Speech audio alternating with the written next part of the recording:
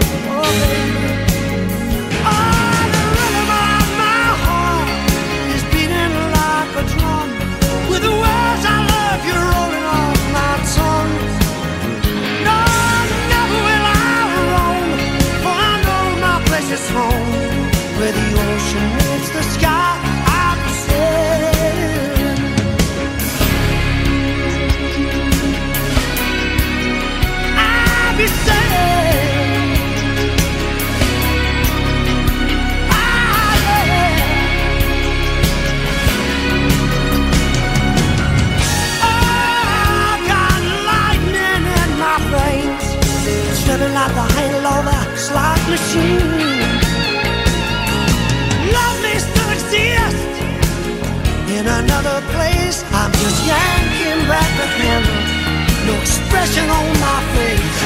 I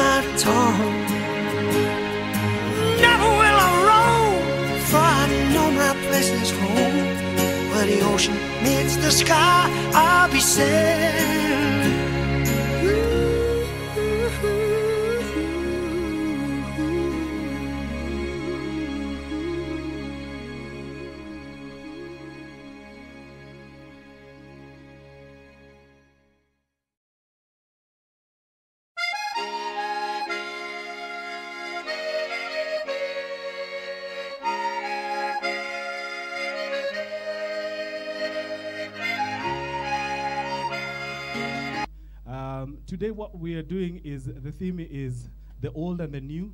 Sam was able to service both the old guys, or the guys who started BBC, and the new guys who just joined BBC. So Kevin represents the old. Clearly. Does he look old? All right. And then Martin represents the new guys. Hey. Hey, we're going into a new dispensation tomorrow, so All right, so it's going to take you through the, the first part of the program, and then I'll take over the second part. Good morning once again. Um, it's a pleasure being here with all of you as we remember Sam, Sam Keni. Um, as we begin, I'd just like us to just take a moment of reflection. As and um, I'd ask you to just, if you don't mind, um, close your eyes. And just think of two things you want to be grateful for Sam's life. Just remember two things that you want to say, thanks, Sam. Gratitude is a powerful, powerful tool in getting through life. So let's just give thanks amidst all the pain for Sam and two ways that he touched you.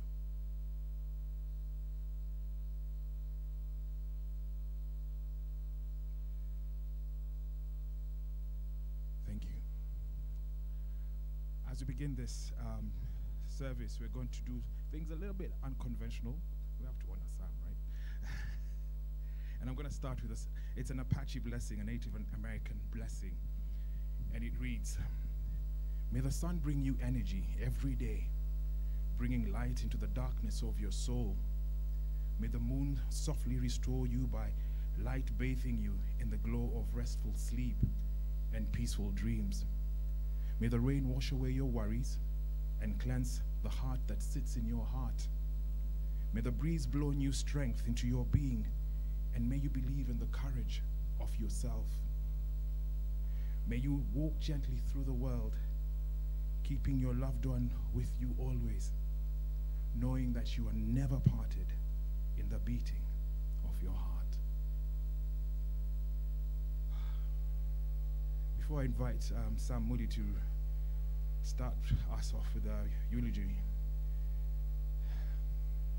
I'm going to share something. Well, a poem called When the Giant Trees Fall. When giant trees fall, rocks on distant hills shudder. Lions hunker down in tall grasses, and even elephants lumber after safety. When great trees fall in forests, small things recoil into silence, their senses eroded beyond fear. When great souls die, the air around us becomes light, rare, sterile. We breathe briefly, our eyes briefly, see with a hurtful clarity. Our memory, suddenly sharpened, examines, gnaws on kind words unsaid, promised walks never taken. Great souls die, and our reality, bound to them, takes leave, take leave of us. Our souls, dependent upon their nurture, now shrink, wizened. Our minds, formed and informed by the radiance, fall away. We are not so much maddened as reduced to the unutterable ignorance of dark, cold caves. And when great souls die, after a period of peace blooms, slowly and always, irregularly. Spaces fill with a kind of soothing electric vibration. Our senses restored, never to be the same, whisper to us. They existed. They existed. We can be, be, and be better, for they existed. We're here to salute a giant tree that has fallen, but we're all the more grateful that they existed. Um, so we're going into a small section of the tribute. I'd like to call Sam Muli before um, I'll just um, before we begin with the rest of the program. Karibu Sam.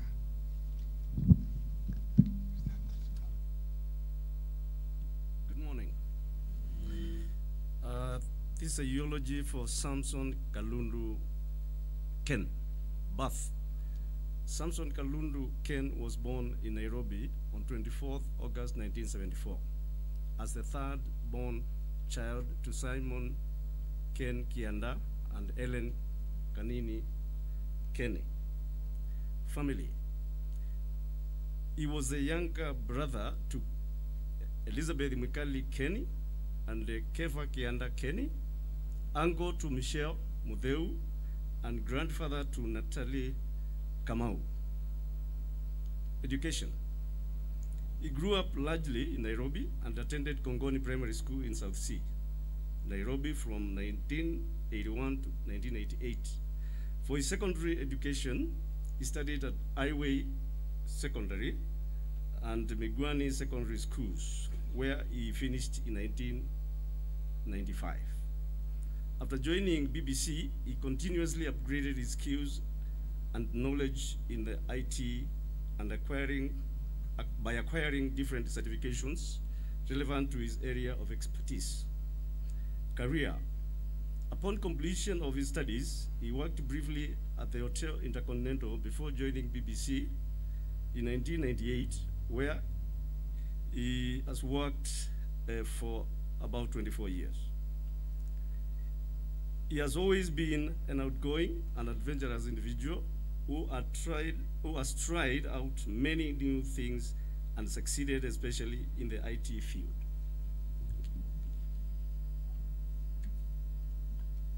Thanks, Sam. Um, we're going to have a small video um, looking at the life and times of Sam.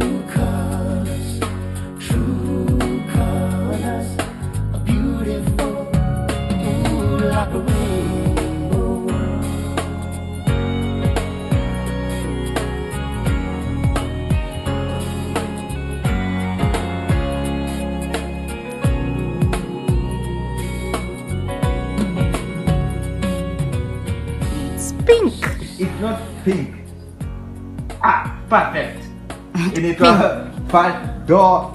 Fadam. Yeah, Fadam. pink. 24 shades of pink. 24 shades of pink. Taking you can bear. Just call me up because you know I'll be there. And I see your true colors shining. Eh, unafaa kuwa ushajua hiyo story kitambo na ushanyamaza by now. Ah, by now hapana. That's Mr. Sam Keni doing his thing. Oh yes. Oh yes. There we go. Nice. Kwa oven. Tepeleka bado. Naenda kwa oven. Una sinap flavors kwanza kwa wata, kwa grill. Unachukua kwa alafu unaipeleka huko ndani. Hii inaenda kwa. show your true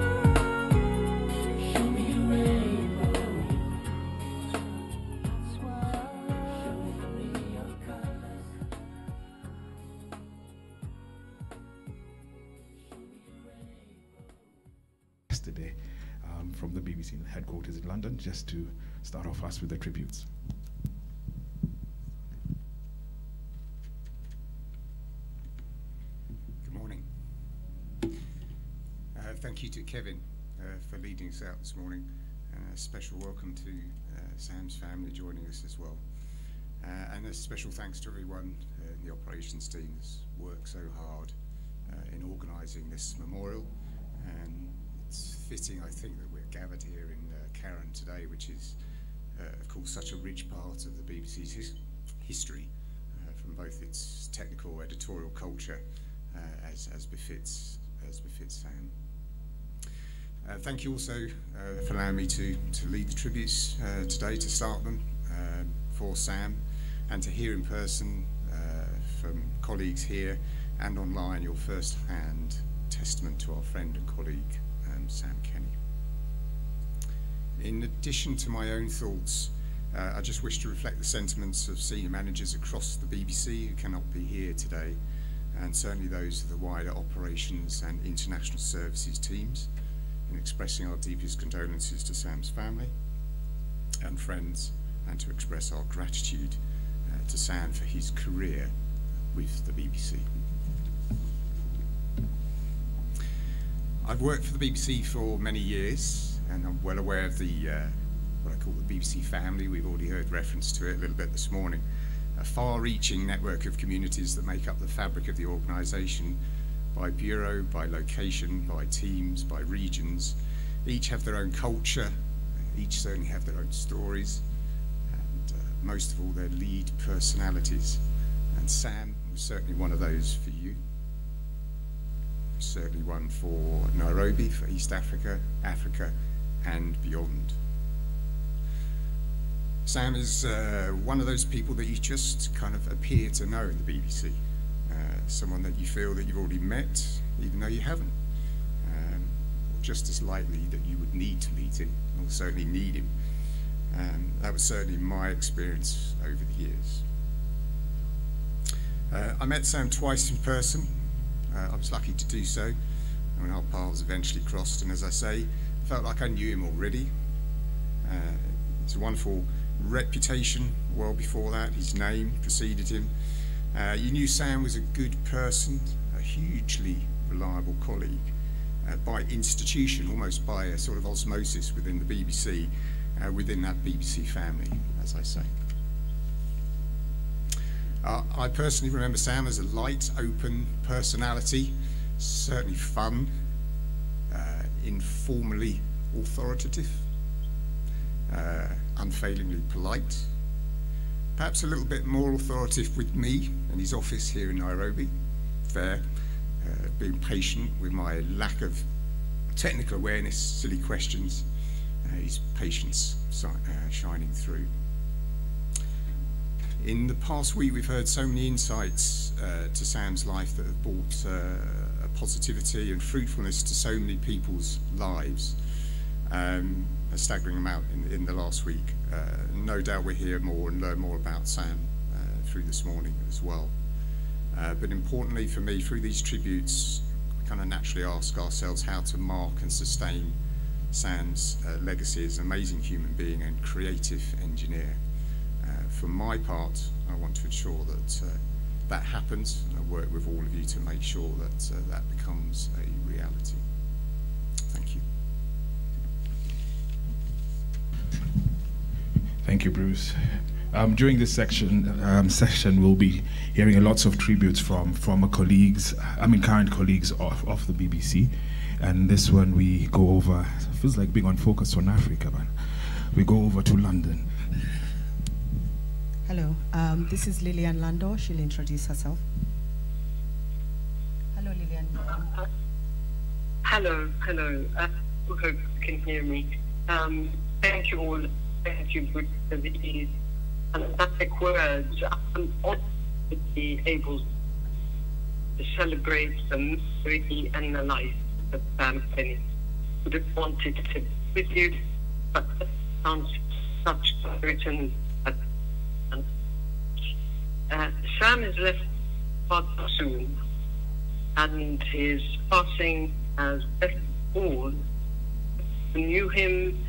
and those who knew of him in Kenya, on the continent, in the UK.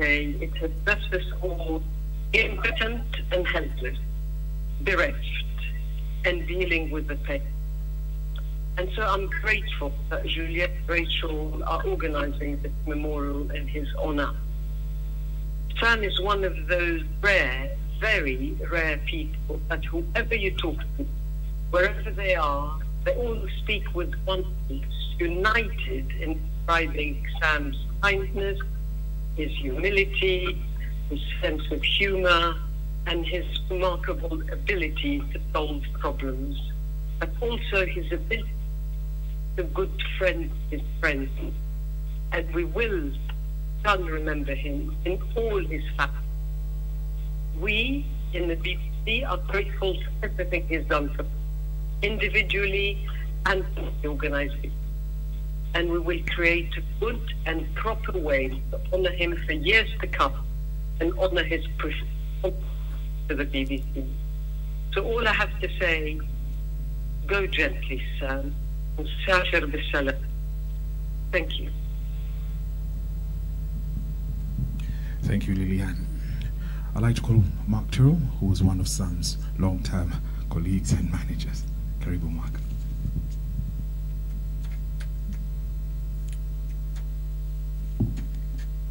Thank you um, very much for inviting me today to speak. Um, it is an honour, and I extend my personal condolences to Sam's family and friends.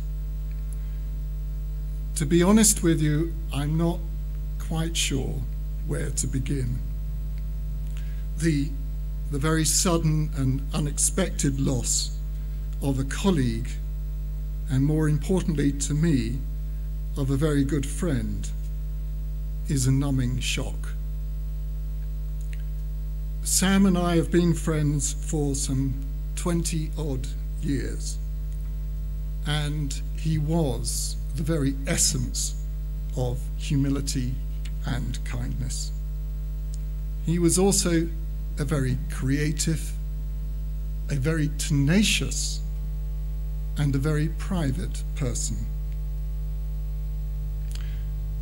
I looked at the photographs that accompanied the aerial tribute, and this indeed was Sam.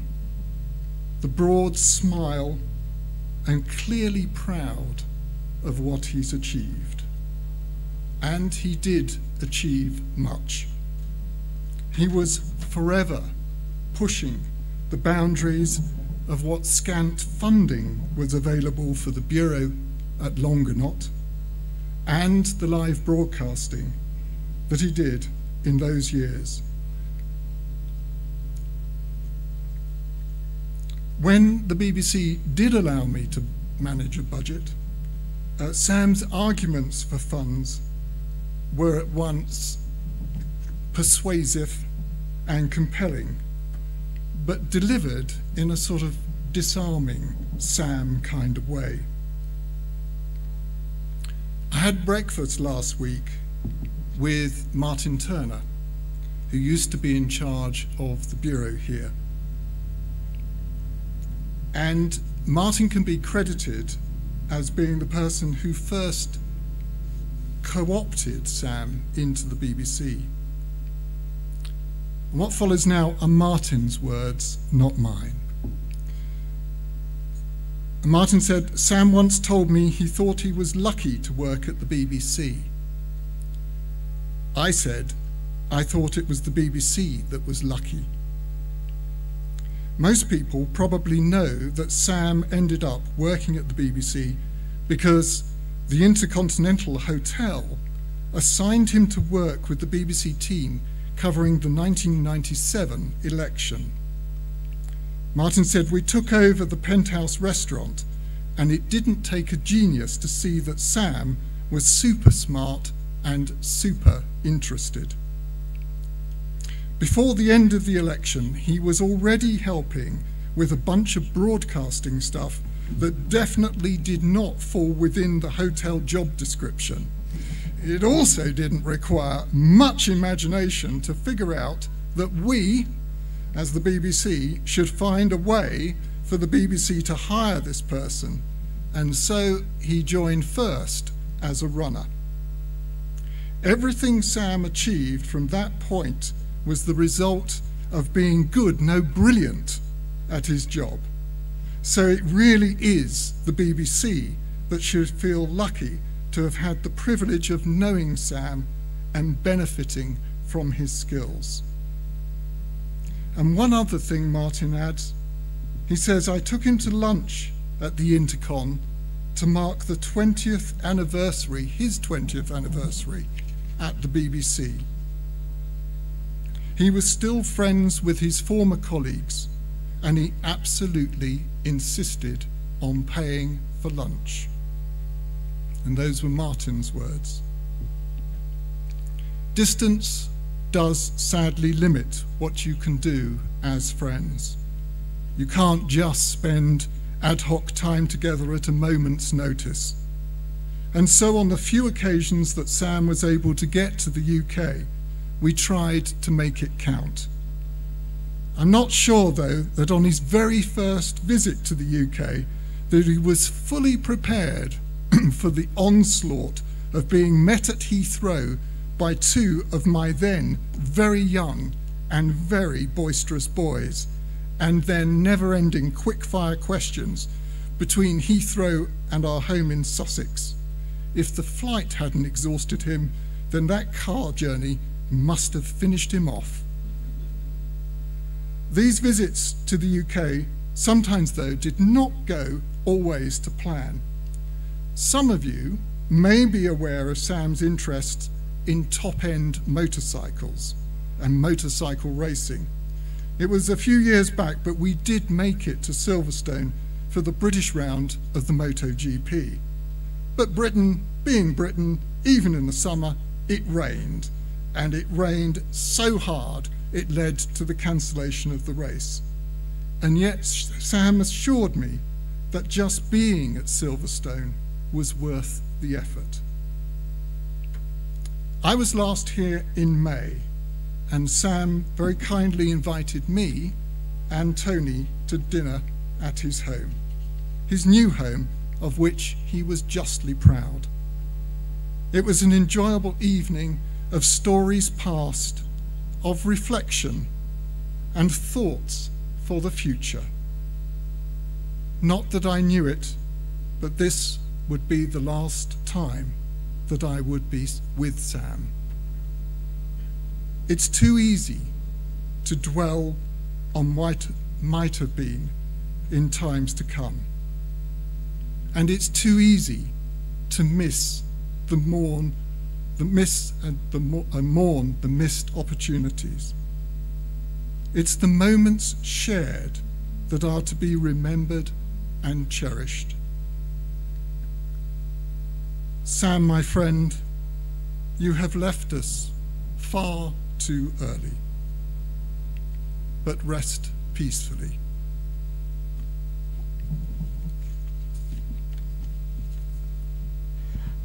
Thank you, Mark. We now come closer to home and get tributes from the Bureau. We'll start off with uh, Juliet Njeri, who will be followed by Rachel Akidi.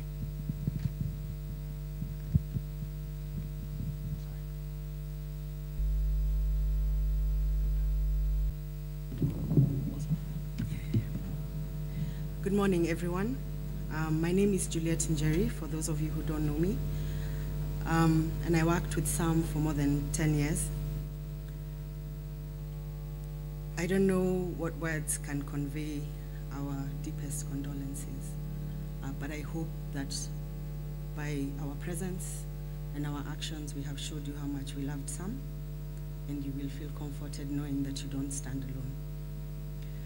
The news of Sam's passing was received with shock, disbelief, and indescribable sadness, not just by the team in Kenya, but by co- countless colleagues in Africa, the UK, and across the world who had had the chance to know and work with Sam. The term legend is sometimes overused, but not this time. It best describes what Sam had become to us. He was an extraordinarily gifted, largely self taught engineer, a powerhouse of knowledge and technical brilliance. And he did it all with a unique blend of humor, kindness, and humility that touched all those who worked with him. He contributed to the vast expansion of BBC's operations in Africa in recent years, helping to bring the immediacy of live sound and video from even the most remote locations to audiences everywhere. Sam's talent soon became evident after joining the BBC in 1998, and Mark has already told us how he got to join the BBC. His passion for technology was unique and infectious, even for non experts. He liked nothing better than describing how he could improve this or that system to make it better, more useful, and more reliant. Supported by Sam's enthusiasm and energy, the small Nairobi Bureau grew in size and importance to become one of Africa's main hubs for the BBC. He kept the infamous apps, room, a vast conglomerate of cables, servers, and computers, humming along nicely during all manner of crisis. He was so proud of that apps room.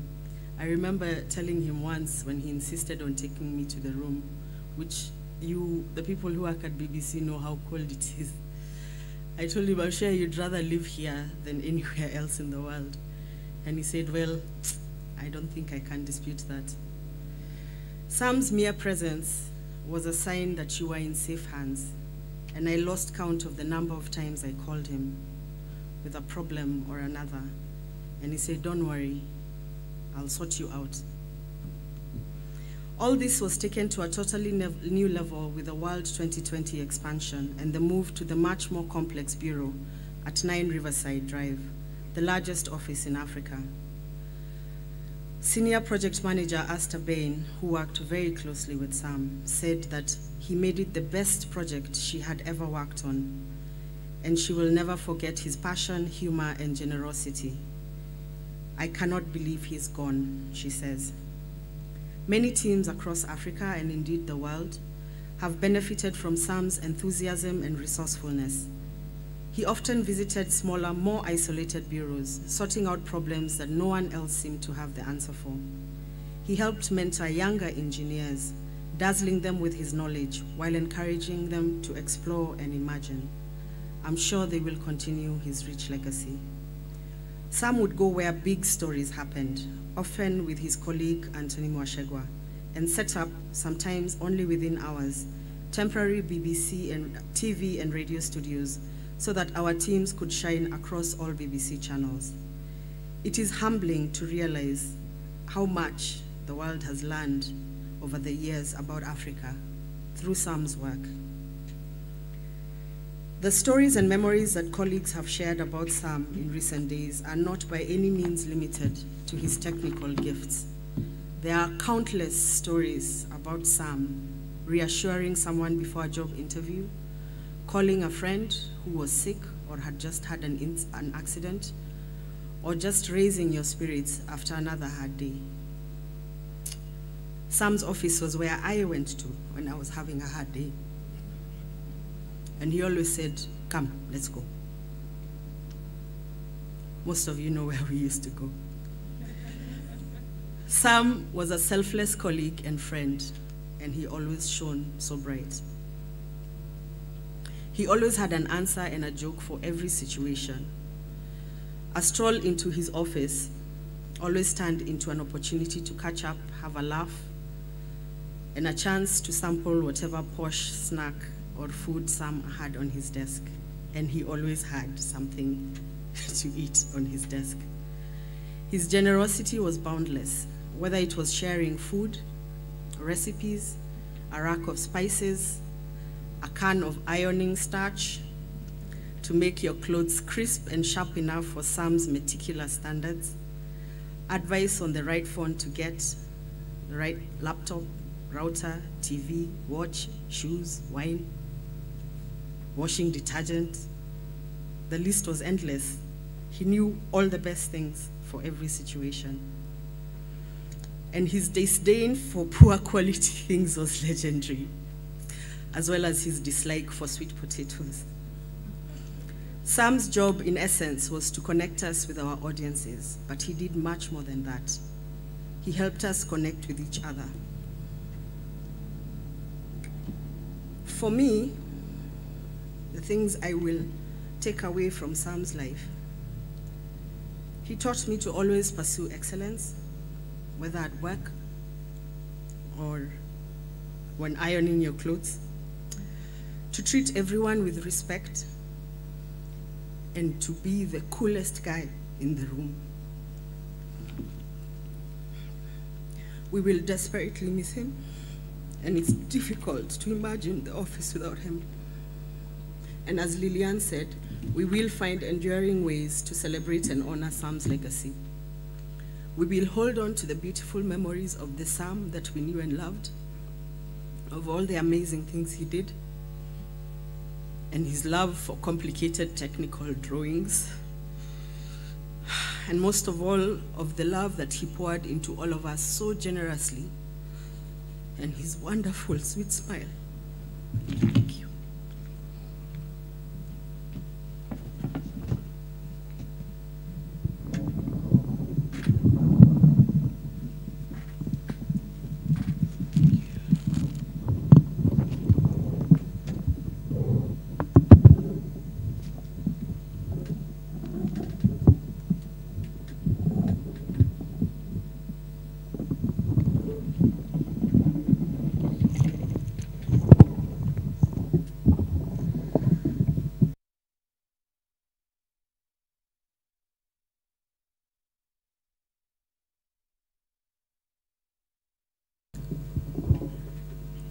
Uh, good morning. Uh, my name is Rachel Akidi. Um, I'm the head of East Africa for the BBC World Service uh, based here in Nairobi. I'm going to talk about Sam, um, the Sam I knew, both as a colleague and as a friend. As Bruce said earlier, Sam's reputation preceded him. I was working in London uh, before I moved here. And every time we needed any technical expertise in any African country, Sam Keni was the man to go to. As you all know, you know, Africa is a complex continent when it comes to technology. So every time you had an ambitious project, you had to first call Sam and gauge his opinion. Now the thing is, he never ever said anything was impossible. He was a creative genius. However ambitious a project was, in whatever remote village you were in, you'd always count on Sam to make it happen. And I think we as journalists don't get to celebrate the people who actually ensure that we get to our audiences. And these are usually the technical teams behind everything we see. And you know, the teams who, you know, bring us on air, on TV, on the radio, online.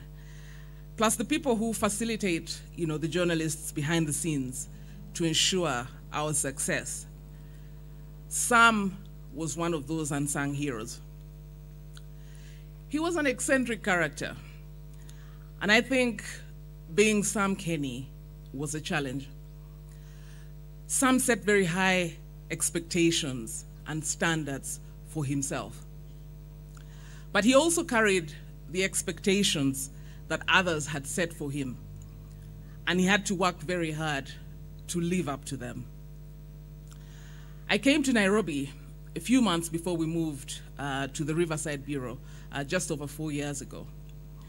And my first assignment was to check out the new bureau and familiarize myself with the project in order to you know, plan the migration of the teams from the old bureau in Longonot Place. And on my first day at work, I went to Riverside and I met with Sam. And he, he was with his twin, Anthony, as I usually called them, Anthony Mwashega, and the project man manager, uh, Asta Bain. It was a building site, but you could tell the three of them were in heaven.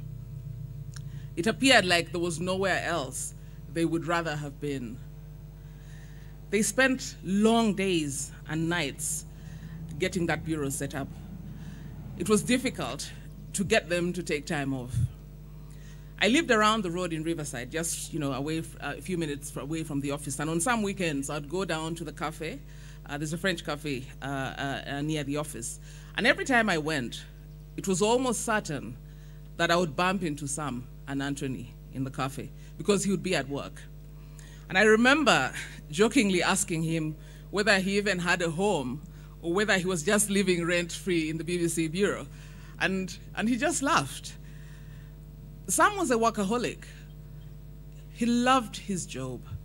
And he told me his job was everything to him, and he couldn't imagine doing anything else.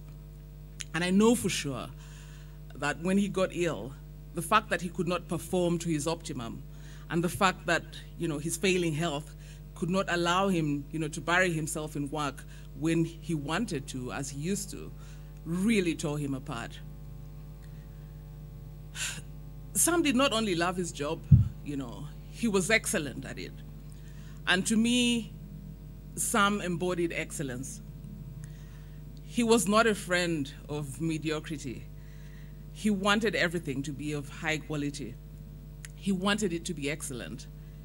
If he needed to do something, it had to be the best. And if he wanted to buy something, it had to be the best. And I think this was reflected in everything that he touched. In his work, you know, his fancy gourmet cooking, his taste for impeccable quality, and his relationships with everyone he connected with. I remember we visited him a few days after he had moved into his new house. And Brenda, his manager, told him he was like a Luo man. And he laughed out so loud. And, you know, the joke, I, I, didn't get the joke until he explained uh, that Luos like nice and expensive things. And I think this is one thing I will personally take as a life lesson uh, from Sam. And I don't mean the expensive things uh, because I can't afford them, but the aspiration to be excellent no matter what.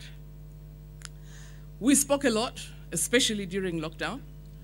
And sometimes he'd call me really late in the night and we'd speak, sometimes for hours.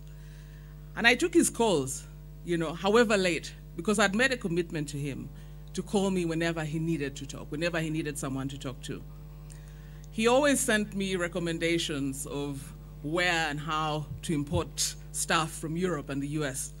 And he knew the stores and warehouses that sold all this stuff here in Nairobi, and on what days the containers arrived in Mombasa, where, how, how they were cleared by customs, and when they were off- offloaded, and you know what time to get to the store in order to get the best stuff uh, before everybody else got wind of it. And I teased him about his extreme OCD when he told me he actually imported all his detergents as well.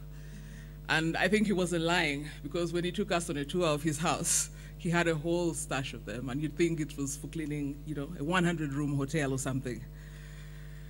I think everyone seems to have known Sam was a great cook uh, before I did.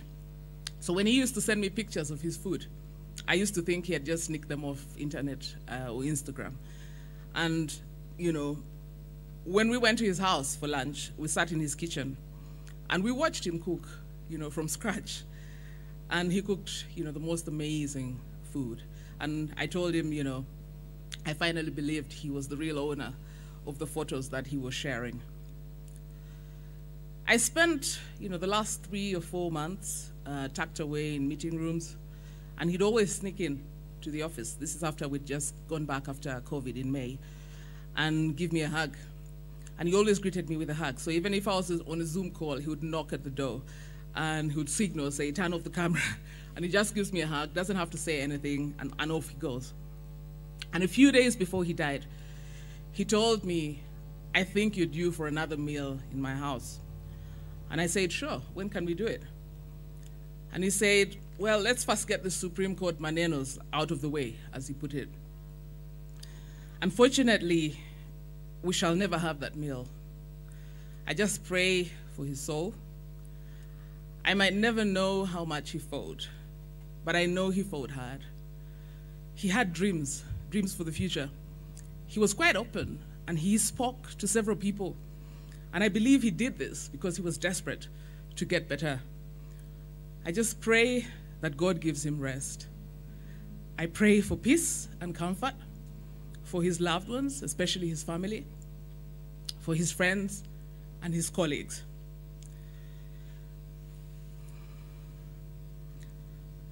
I want to remember Sam, you know, as a person who loved life and a person who loved people. And he believed in maximizing his God given talent and potential. But above all, I want to remember Sam simply as a wonderful human being. Since he died, I've received several messages from his former colleagues and friends around the world. And I just want to share before I go uh, just a couple that stood out. And this one is from Peter Burden, who used to be the Africa Bureau editor here in Nairobi and in Johannesburg. And he worked with Sam uh, for many years.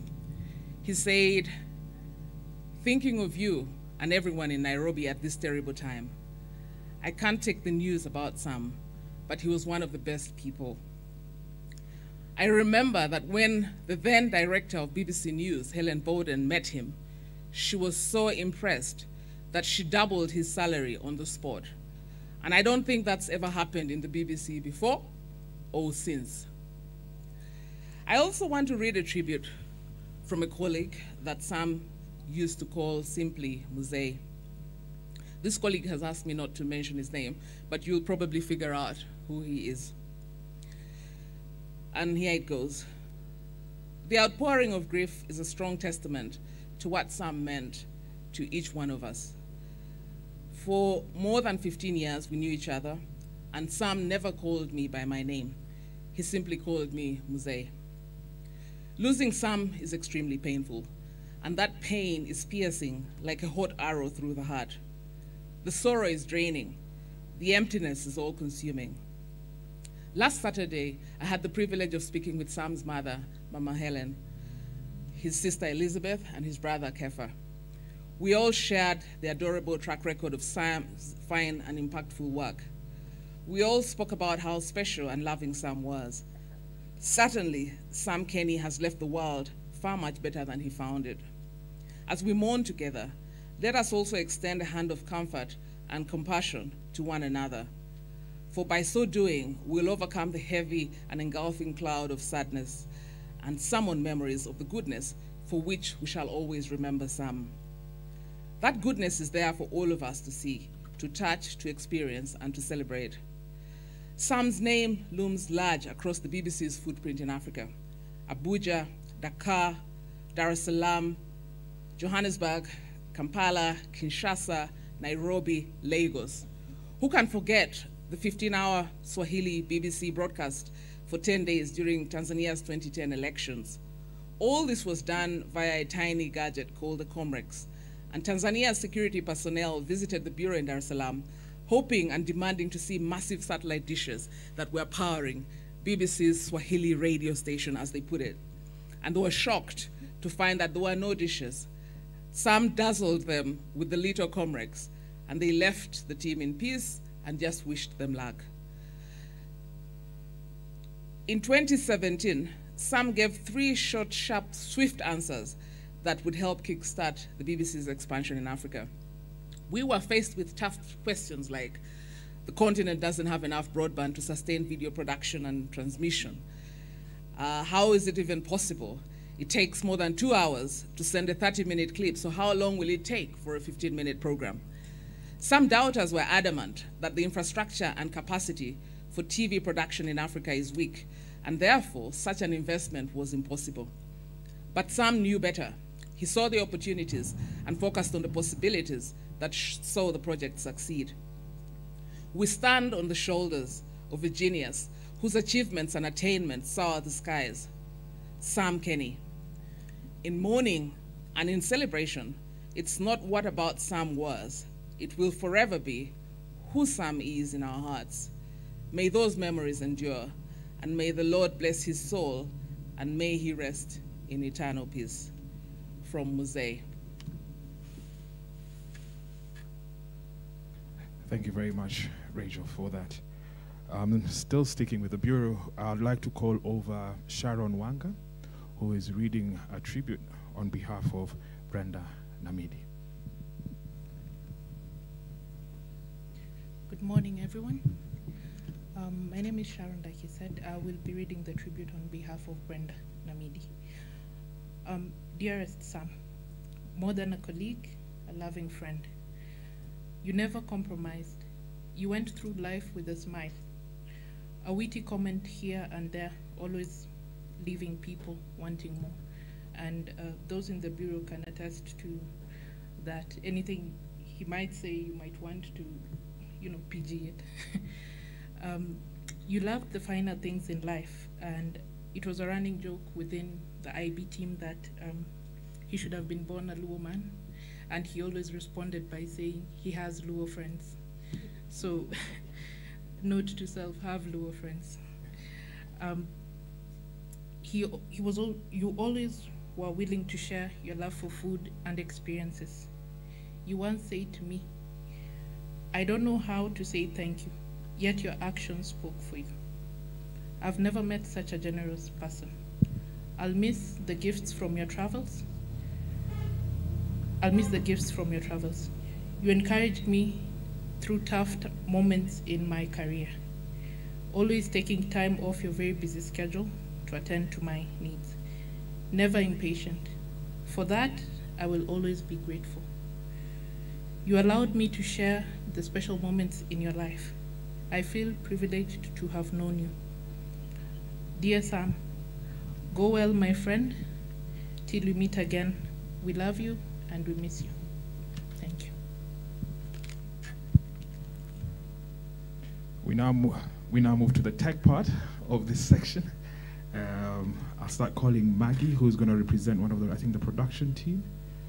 Um, and she'll be followed by Martin Chege.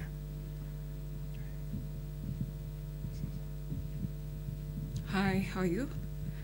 Um, I'm reading on behalf of a team of 16 people, um, the production team. Most of us met Sam Keni on the 19th of February 2018 when we all reported for work at Riverside. By the time we were all done introducing ourselves, he'd already mastered our names, and from there, our relationship was morphed. To some of us in the team, he was a Afande, Babe, Keni. To me, he was Samsung, a name he really didn't fancy because he said it lacked something.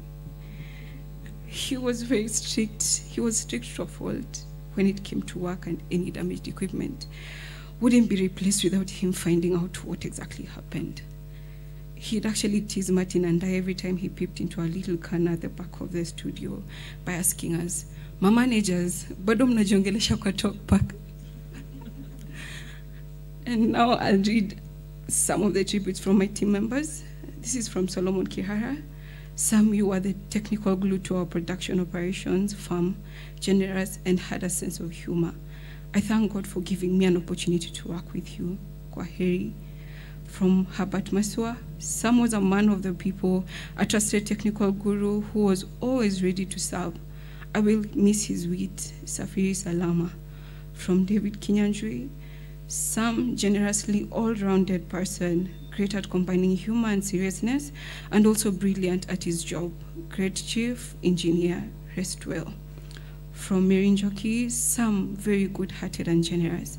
He made sure my desk was fully equipped and that I was happy. He was a great friend. We shared a lot of personal issues, and I will dearly miss him.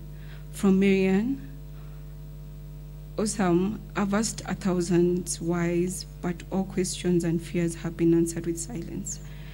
You are a good man full of humor. You gave me so many fancy things for my makeup room and always thought I was witty. Unfortunately, now I have to remember you for longer than I've known you. Back to the stars, hopefully. One day we'll meet you there. And for me, some, some of us wore your signature look today an unbuttoned shirt and a t shirt and sneakers.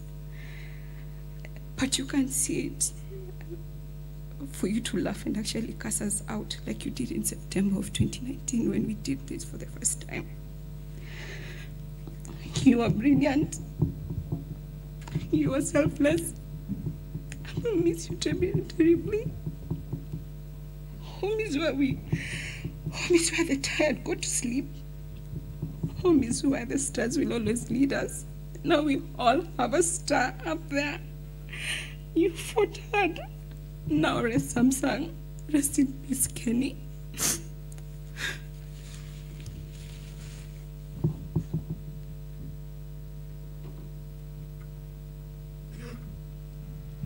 All right. Hello, everyone.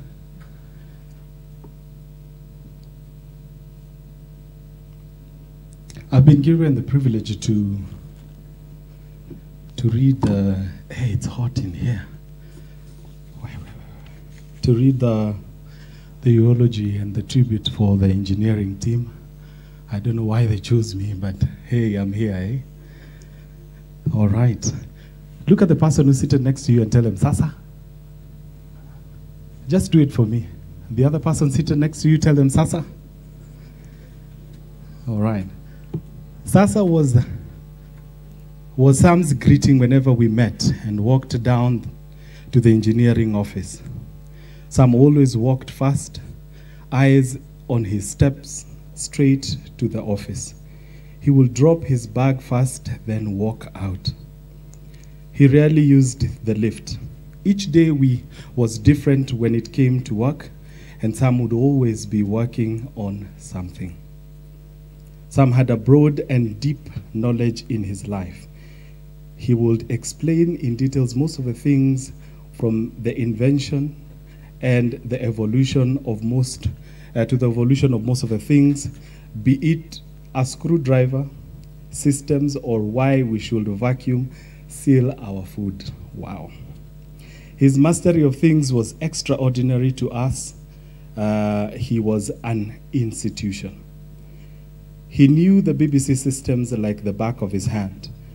And, and, we, and when things seemed not to work, he would take a break. If the challenge persisted, he would pick his bag and leave, only to sort out the issue the subsequent day. He had a replica of office desk in his residence, and uh, we noted this when we visited him in May. That's the engineering team. To him, work was like the air we breathe. He simply couldn't do without it. Whenever Sam was called, he always picked up, especially when, he, when the call came from the engineers. And just in case he missed it, he would call back in good time. Sam was always ready with solutions. We once had a surprise birthday party. Uh, we all knew he would not be ready for it. The IB team took cover in the apps room and monitored Sam via the CCTV as he walked towards the engineering office. As he approached the office, we came out of the apps room and forced him insi- inside the engineering office just next to the apps room, and we sang happy birthday to him. Sam appreciated the moment. Our main last encounter with Sam was at the rooftop of Serena.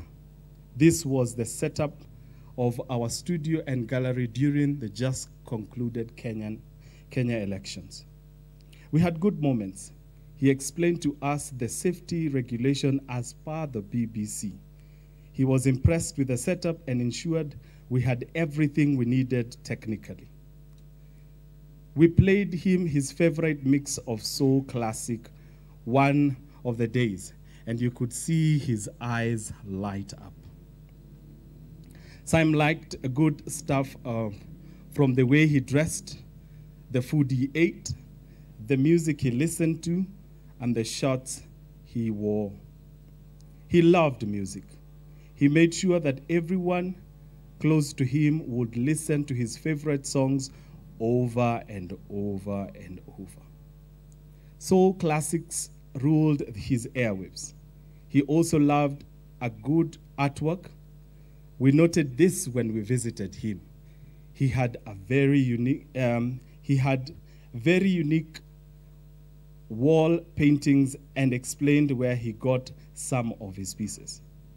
Sam treated us like his own siblings. In many occasions, we had lunch together, all at his cost. He was very generous and warm. Sam's last moments were very sad. The events, the events were subsequential. Everyone close to him could see things we were, were not well. We did what we could, and that was our best. We believe that where Sam has gone, there is peace, eternal peace. You will always be in our hearts. That's the message from the engineering team. I want to make um, just a note and an appreciation to one, one guy who I think Rachel has called him his twin. For me, I used to call them the three musketeers in the office. And one, one specific guy is Anthony. If you could just kindly just put your hands together for Anthony in appreciation. He has walked with this guy very close, and that's a good thing. All right, kindly let's watch. Um, let's watch uh, what the colleagues sent, and that will be a great blessing. Let's look at the screens.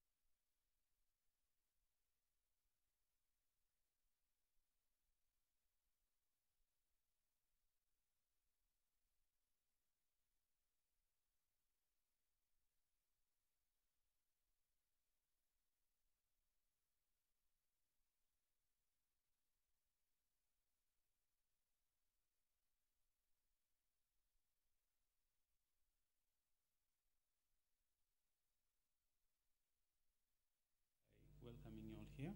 Sorry. Thank you. And start by welcoming you all here, especially Sam's family and friends and our BBC colleagues. Karibuni sana. Um, that means welcome. Um, to the family, I want to start by extending our deepest condolences and praying for God's comfort for you. It's been a hard time um, this past one week since I'm passed. And I have been, like most of us here, um, taking time to, first of all, just um, struggling to deal with the news that Sam is no more, and then taking the time to think about what he meant for the BBC um, and what he meant to those of us who are here beyond just being a colleague. And I want to say a few words. Um, firstly, I, my relationship with Sam started mostly from dealing with work issues. Um, I look after the BBC teams that work from this office, and as Bruce said, this is um, one of the oldest BBC overseas offices. It's been here from the 1950s. So technology falls apart. A lot of things here are from, from way back before most of us were, were born. And so we'll, we'll be talking with Sam about what needs to be done in terms of the technological infrastructure here and any other support we needed with that. But then over time, that relationship evolved to a point where we'll talk about personal and social issues. And um, I do remember one of the, the two um, last significant moments that I had with Sam. One was in May, and we had gone for HEFAT um, with a few colleagues who are here. And we were just, we had taken a break from the training, was hostel environment training, and we were talking about things generally in life. And he was talking to me about how happy and proud he was um, of his house in Syokimau. And he was telling me, you know, you keep on worrying about um, the hustle and bustle of Nairobi, but if you move out a little bit, it's more enjoyable, it's quieter, it's spacious. You can, and then um, a few weeks later, towards the end of, um, of June, we met again here. Um, Razvan had come to visit, um, and a few other colleagues were around, and we were walking here with Razvan and, and Brenda, just looking at the facilities here, all the work that had been done by Sam and other It's colleagues so hard who to say support goodbye operations to someone. Um, and then we stood out here and we were talking for a moment. Um, and I'd known for a while since COVID started that he was going through a hard time. So just asking him as a friend, as, as a guy, how are you doing? Um, how are things going? And he said um, the worst was behind him and he was hopeful um, that things had, were, you know, things were getting better and that he would be well. And we were talking about him just creating time to get out here colleagues who work from the office in Riverside know how, you know, how we keep on having this job. When I come into Riverside, I say it's, it's all in one building. There's no space for me to walk around and stuff. And I was telling him, come out here, there's fresh air and stuff. And he was like, yeah, I'm going to make time to, you know, come out and, and hang out a bit more after the elections are done. But sadly, that did not come to pass. Um, as most of you would know, um, Sam, he was meticulous in everything that he did. I, my personal um, experience of working with him was he had this silent motto. When you went to him with something, he had this unspoken, you know, philosophy that he lived at, which was, I would simply put it like, um, like this. He, he would say, I'll do you one better. And what do I mean by that? You'll go, you'll go to him with a problem, and he will not only solve it, but he'll make sure he, he improves your whole setup. And I have two experiences um, of that um, that um, come to mind more prominently. One was around um, in at the beginning of lockdown in June, July of 2020, and we suddenly had everyone working from home, and we didn't have enough people who had BBC computers working from home. And at that point, we used to have um, an IT engineer who used to be in this office here. He had been around for over 30 years, but he was about to retire. So he had gone ahead and gotten three um, laptops that we needed to put a BBC build on. And um, we took them to Sam and said, Sam, we have these three laptops. We need them to have a BBC our colleagues can work with them from home. And he looked at them, checked a few things, and came back and said, Sam, these are rubbish. We can't do anything with them. And um, of course, it was it was a tough time. People working from home and struggling. So they their first instinct is to feel inconvenienced. But then he was like, don't, don't worry, I'll show you what we'll do. So it was like, this need to go back. We need to order the right uh, uh, laptops that can take the BBC, the specs of the BBC build. And he went ahead and did that and built them. And then he was calling me very excited, telling me, the bill has gone perfectly. These ones will serve you much, much better than the three rubbish ones that you guys had gotten. And we laughed about it, of course, and we were able to dispatch them to colleagues, and, and, and they worked great. And, and you know, I, I, sat, I sat back looking at that, I was like, that's one of the things I remember about his meticulous approach to things, one, but also how he not only fixed your problem, but he made, he made sure that, you know, he did something better or he went beyond what you needed. We had another conversation um, with him and Tony, um, that's Anthony, I think, for most people. Um, I had a similar experience with the two of them to what Rachel was saying and others about. I looked at them as work twins. If I went into the office in Riverside, they would be there together. If they are coming around here most of the time, they'll, you know, they would be in the company of each other. And we were having a problem with um, the Wi-Fi connection here. It kept on tripping. Um, and when I spoke to the two of them, and Sam said, um, what are you guys, I told him you just have a normal Wi-Fi the way you'll have at home. It's like a BBC office should not operate like that. This is not good. So he said, give me a few days and we will see what to do. And he went ahead to fix um, the problem and he set us up on um, the corporate Wi-Fi and they were saying, this, this is the way a BBC office should run. And since then, even today, colleagues have been coming in who have been, been here before and you've had access to Wi-Fi. It's, it's so much better. It's very superior to what we had before. And again, it's a testament to um, Sam's attention to detail and just going over and beyond what um, we all needed as colleagues. Um, a lot has been said about Sam and what he meant. And I would say for us in our own special way, this office where we are holding the memorial bears the handprint of, of Sam's work here. Um, until we were talking about it with Tony again, one of the musings that's um, just happened when you, you know, catching up with colleagues, also trying to process what has happened, that time is no more. And we were talking about the work that went into transforming this place um, in terms of the technology that we use. Sometime back in 2017, we had a major restructure of BBC monitoring, and we were similarly affected by that, just changing the skill set, um, the digital tools, the equipment that we use, and even doing a revamp of the office, and, and Sam was quite heavily involved in that. And one of the biggest things that bear um, testimony to his legacy with the BBC are these white satellite dishes that you see behind you, the, just down here. They're, they're smaller compared to the older ones in the back. Those ones were new, but they've also allowed us to do so much more. Like now we have access to over 100, you know, 104 TV channels here and dozens of radio stations. And because um, of the work that Sam was doing, working with a contractor who came in from South Africa to make sure that they were set up and everything was working great, we now have an operation that is light years ahead of where we were um, three, four years ago. Uh, we have te technology that allows us to, you know, do things. I can be sitting here and looking at things happening in Mali and other far-flung parts of the continent. And that's all part of the work that Sam has done here, and we, we are forever grateful for that. Um, like many of us present here, I have wrestled with, you know, regret, what ifs, um, since uh, we had news that Sam was no more. And I've thought about it. And, you know, hindsight is brutal, but it's also part of life. It's um, this thing that we do, it's a process when you're grieving, when you're soul searching, when you're trying to get acceptance. But then I thought about it um, in light of what has happened. What is this thing that I want to do differently in, in memory or to honor Sam? He was generous and he was kind with all of us. And I thought to honor his memory, it would be great for all of us, and I implore all of us this, this morning or early afternoon that you extend grace to other people, yeah? that you be kind the way Sam was kind.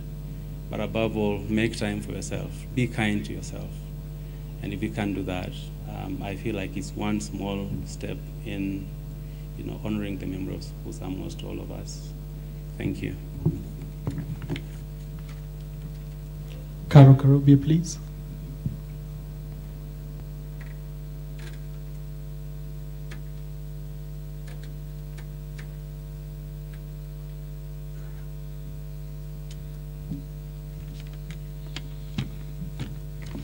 Good morning, everyone. My name is Caroline Karobia, and Sam Keni was not just a colleague to me, but a very good friend. Let me first by, start by offering my sincere condolences to the family, Poleni Sana, and to the BBC family. I have a short tribute uh, for Sam Keni. Often I called him Kalundu, and those nearby would wonder whether that was his real name or a nickname.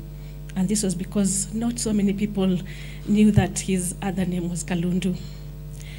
And he used to get very mad when people laughed uh, when I called him Kalundu, and he'd say, Nini Mbaya, that's my name. Hmm? And yes, Kalundu was his real name, and that's how deep, at least I felt I knew Sam Keni. We met many years ago at Longonot Place, uh, BBC former home in Nairobi. He was a Mr. Fix It for us. He did everything because he was the only technician we had. He was the only studio manager. He was the only IT person. Just name it and we'd sort it out for you. It's different now. We have a whole team of technicians. Then it was just Sam Keni for us. Those who knew him well know that he was a man with a big heart, humorous and very cheeky, and could be annoying at times.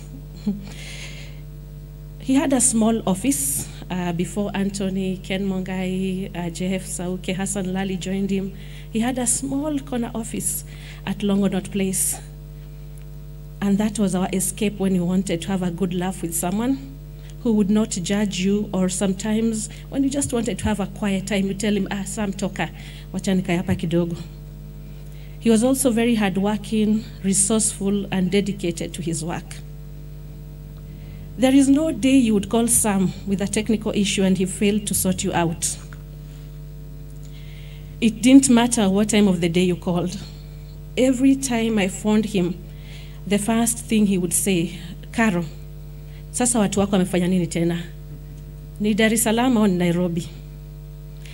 And trust me, being on air every morning and every evening, he received many such calls from us, and he would never complain, even calling at odd hours at 5 a.m. in the morning before we go on air or later, late at night. But he'd find a way to resolve our issues. His work was more than a job for him, but a passion. It was very hurting uh, for me when I learned that he was unwell. It was sad to see my friend struggling. And we spoke a lot in the past one year, and mostly about his treatment. And we didn't, and when we didn't, I checked with Anthony to find out how our friend was doing. I knew he was really looking forward to get well. You could see it in his eyes whenever he added a bit of weight. He would be so excited, and I too on his behalf. The other day, we remembered how on his last days he enjoyed giving colleagues big hugs. And I knew this was, if I knew this was our last hug, I would, I would have hugged him much longer. I remember telling him, toka hapa Sam, eh? sitaki kubaki na koloni yako. I was, I, was, I was away on leave on his last week, but Sam was still in our minds. He was also a friend to my family. And on Thursday, uh, he kept on looking for Noel. And I remember telling Noel, please check on Sam. The last time I saw him, he was not looking so good. And they spoke, and they spoke, and they agreed to speak again on Monday. But that was not to be. I will miss you, Kalundu. Rest well, my friend. I have a short tribute uh, from Lulu Sanga. Uh, that's our editor in Dar es Salaam. Sam also looked after their technical bit. So it's mixed Swahili and English. That's Lulu for you. Nimemfahamu Sam tangu mwaka wa 2018 while I was pushing to get my camera kit. From there he became my go-to person, a very positive human. Leo namshukuru Mungu kwa ajili ya Sam, sababu alimtumia Sam kunipush katika sehemu moja. Yeye ndio mtu wa kwanza kunipa fursa ya kuingia kwenye boards za BBC. Nilifurahi sana, nikamwambia Sam, aishwa? Akasema 100%, na akanionya don't ever doubt your potential. Kwa kweli namtakia heri Sam na namshukuru Mungu kwa ajili ya maisha ya Sam. Asanteni. Let's have Ken Mung, Mung, Mungai and then Irene Kaindi.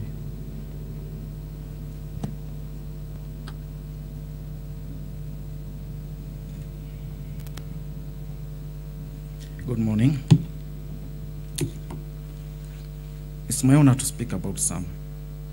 I'm sad about talking about Sam, Sam the late. I worked with Sam for a long time. I'm struggling to find words enough to describe him. He was a colleague and a friend and a brother to many of us. We shall miss him. The first time I met Sam was when he was boarding me to be his assistant. He was interviewing me. And I remember he asked me a question. He asked me, Ken, if we gave you a scenario and you went to Somalia and you had Americans, uh, soldiers with you, and you had this piece of kit, then you realize the cable has been cut. What do you do? I told him, Sam, I'll talk to the Americans and they will give me the tools. I told him, Ken, no, if they don't want to talk to you, what do you do? And I told him, Sam, I'll fix it with my teeth. He was impressed, and I got the job. Sam was an achiever. Impossible was possible for him. He saw possibility where many would give up. He would take his time and analyze and come up with a solution. For many years and days and nights, Sam gave all his energies to the BBC across Africa. He was a technology backbone for the BBC. When I joined him, he encouraged me and trained me and nurtured me. We achieved so, so much. Soon we were three when Anthony joined us. But as time went by, many others have joined, and now we have a talented pool of engineers thanks to Sam. Although I wish I was talking at his retirement party instead of his memorial. Sam and I spoke so many things about life. He wanted to start a restaurant when he retired. We all know that life isn't fair sometimes. It's not fair that Sam has gone from his family and colleagues. The presence of Sam in the office will no longer be there. Things will not be the same. He had an aura of strength. And I remember in one of the walls he had printed the lyrics of the song Sleeping Child by Michael Lance. Those words will always remind me of Sam. The words were, Oh, my sleeping child, the world's so wild, but you build your own paradise. That's the reason I'll cover you, sleeping child. Sam has finally slept. May he sleep peacefully.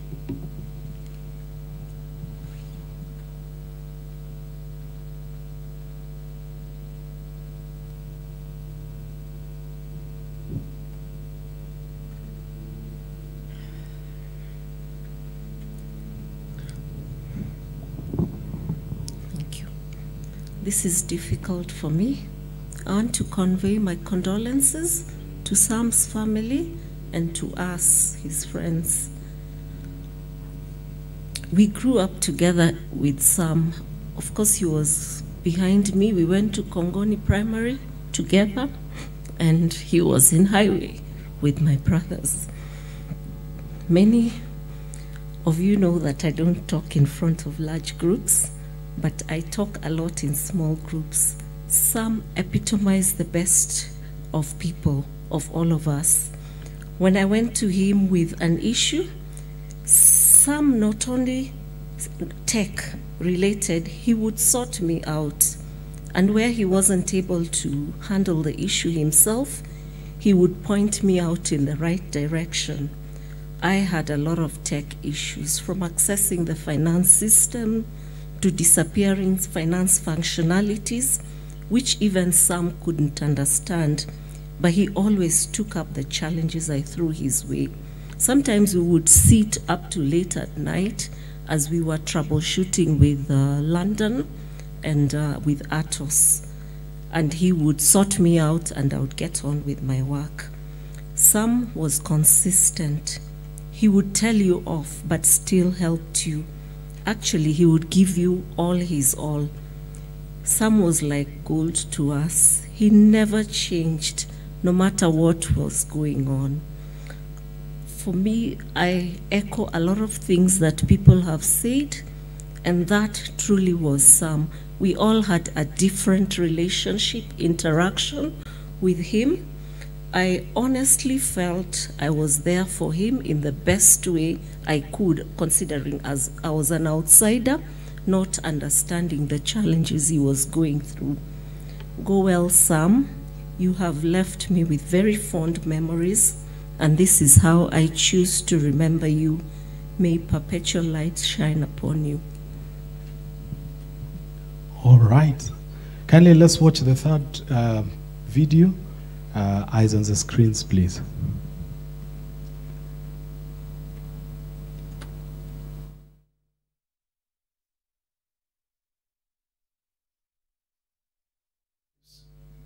For years, Sam was there in the background, supporting his colleagues through good times and bad times.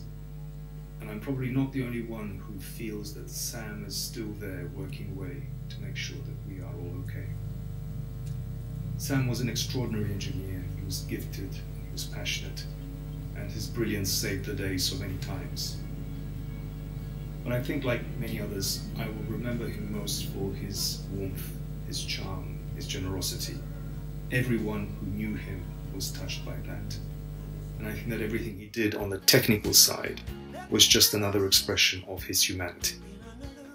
We have lost someone who was truly unique. So, on behalf of all my colleagues in international operations from across the world, I would like to say thank you, Sam. Farewell. We will never forget you.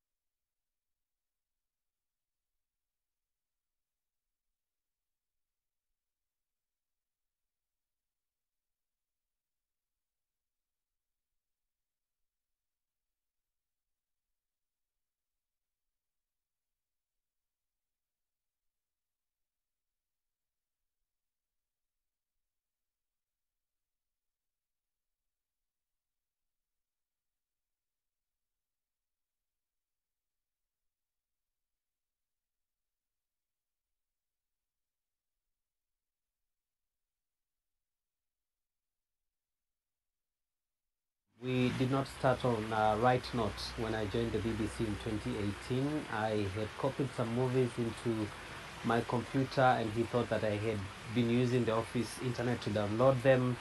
Um, but we resolved that, and after that, we became good friends, and we would speak along the corridors. He would be calling me, "We mano, motongoi, yata," to mean that, "How are you, chief?"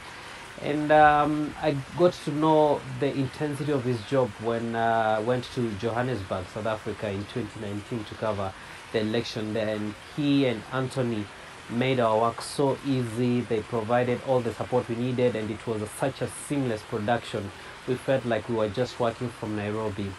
Uh, we would often also um, joke about uh, posting on social media, and some said he was very particular about saying that he was not in um, on the internet apart from an article I think written around 2000 on the BBC and uh, some may not have had a prominent digital footprint on social media or on the internet, but he left a footprint in our hearts and in my heart. Komanesa Mutongo.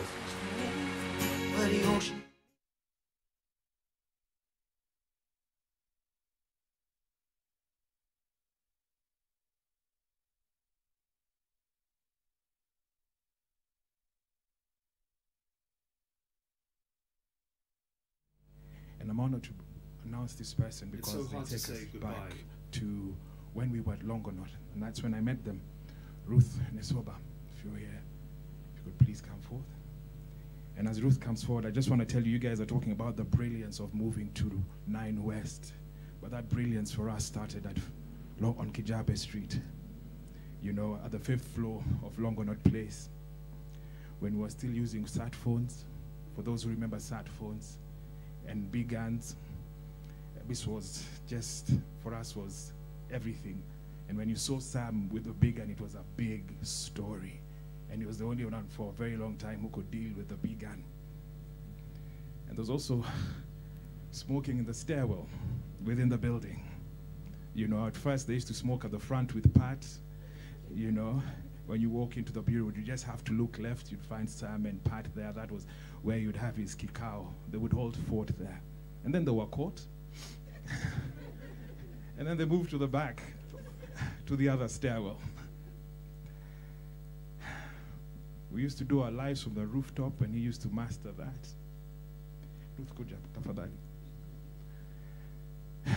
And then I think for me was the brilliance was when he moved the whole bureau into flats. There was the Suswa side of Longonot Place, where he crammed us into flats. Mary had Mary and Moses had just joined, and Mary was Mary's posh, you know. and Sam used to make fun of her. This chick has come from advertising to work at the BBC to be put in a flat. but that flat worked. Stores were made into, you know, you know, viewing points, you know, and he made it possible. And we and we managed. BBC monitoring joined us and on the second floor or something. You know. Tumetoka mbali. And as this refurbishment was happening, him and Anto and Ken were fixing the fifth floor to what it was. Where we, we all started getting our own personal computers and not sharing stuff. Where we started having self-op rooms to link us up to London without having to carry sat phones or the big and app to the roof. But it was an honor to work for me. What was the greatest story along with Sam was the 2007-2008 election. And we worked. Sorte. We worked really hard. And such was the brilliance of Sam. At the fifth floor, it was fully kitted. Sam took care of everything. There was the mural that he and, he and Mary used to fight over, in what pictures to have, you know, the phones, you know, the server room, and even the type of furniture that we were having in the dining area. That was our boy. That was Sam. That was our Enzi. Karibu. Thank you so much, Kevin, for the great introduction. What a time and what a life we had. Longonot Place, I think for me, was the epitome of journalism. And it's because of Sam that we did it. You said it, you know, the Marantz, the big guns, the sat phones. There's a time we went with him to Mombasa and he was trying to explain to us why sometimes sat phones don't work so well. It's because of the ocean, he would say sometimes, and then he would laugh. Sam introduced us to a life we'd never known. My love of rock music is because of Sam. With Anthony there, we'd dance to it in the night shifts that we had. Over the weekends when we were on duty with the late Anne Waithera, I smoked my first cigarette because of Sam. That was the first and the last because I choked on it. And then Anne was joking and telling me, you know what? The, the cigarette that chokes you will bring you lung cancer. And we would joke a lot. Anne rests in peace, and so does Sam. I hope they're making a happy orchestra up there in heaven. We miss all of you. I stand here on behalf of my colleagues on the East Africa deployments team, some of them who grew through the hands of Sam. Ken Mungai, who spoke before me, joined as a studio manager and an assistant to Sam. And Sam, Ken, myself, Salim Kikeke, Susan Mungi worked on the Amka na BBC. It's the year that I joined the BBC, that's 2006, that the BBC took a great gamble of moving Amka na BBC to Nairobi. And Sam made the BBC believe that this program would survive, and it has 16 years later. His technical genius, the brains, everything calmed us then, and we went on air. I was a launch producer. Sam Mungai there was a SM, and Sam did his magic on the, you know, whatever, I don't know what to call them, yeah, there, you know. And we went on air, and we have up to now. I have been on elections one after the other with Sam to Tanzania in that year when Solomon talked about, you know, 20, was it 2010, 2015? And he would convert a small corridor into a studio and we would go on air on TV and radio. You've seen pictures where we were seated on a rooftop that was overlooking the harbor in Dar es Salaam. And we went live on that, and Sam was on the camera. So he was an all rounder, Mr. Fix It. He did everything. We have so much appreciation for Sam because we are who we are because of him. When I left the KBC, it was a national broadcaster, to join the BBC, I had never seen uh, audio being recorded on computer. We were doing the reel to reels. We were splicing tapes. We were doing all that. Sam held my hand and you know I took extra lessons with him over the weekend to learn how to record sound on digital. And here I am standing here. And so I would like to say, Sam, we celebrate your friendship. We celebrate your genius today. We, the editorial team, are the largest or the greatest beneficiaries of your generosity, of your talented brains, and of your hands. We held hope when we saw that you're sick and we kept praying that you're going to bounce back because you are our strength, Sam. When we never believed that we would do it, you say, yeah, come on, we're going to do it. And so we prayed for you and we hope that you're also going to bounce back and win your battle. But that was not to be. It's impossible to summarize the 16 years that I have shared with you and worked with you since those years in these few minutes. Sam, I think we need a better occasion. Maybe, Kevin, you should plan it where we'll play rock the whole night and remember you, Sam. So I've known you since that year in 2006, and um, you were insightful in all matters technical, in everything that had to do with electronics.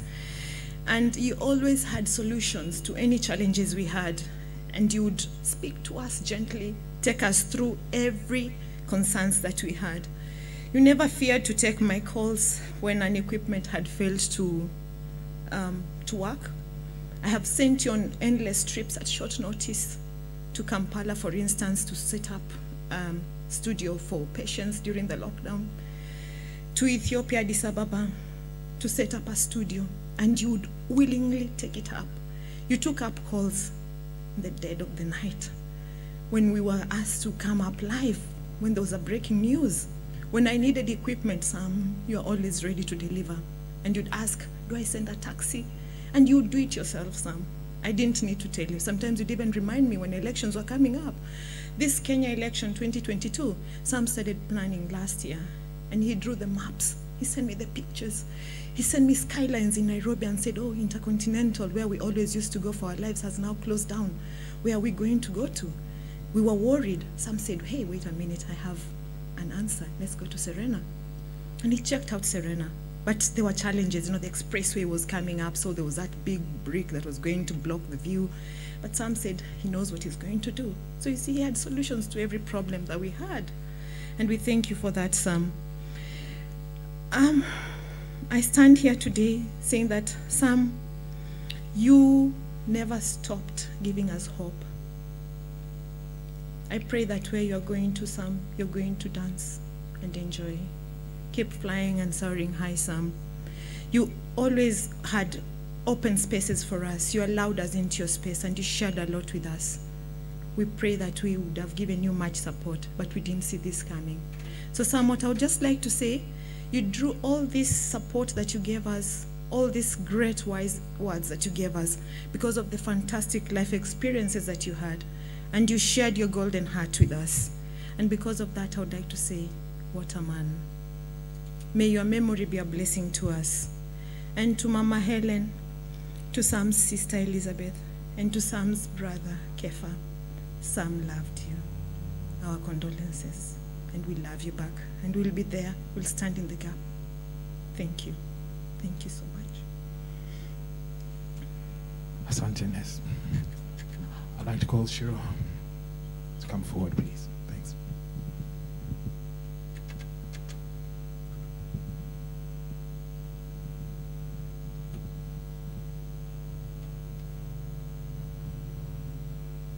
Good afternoon, everyone.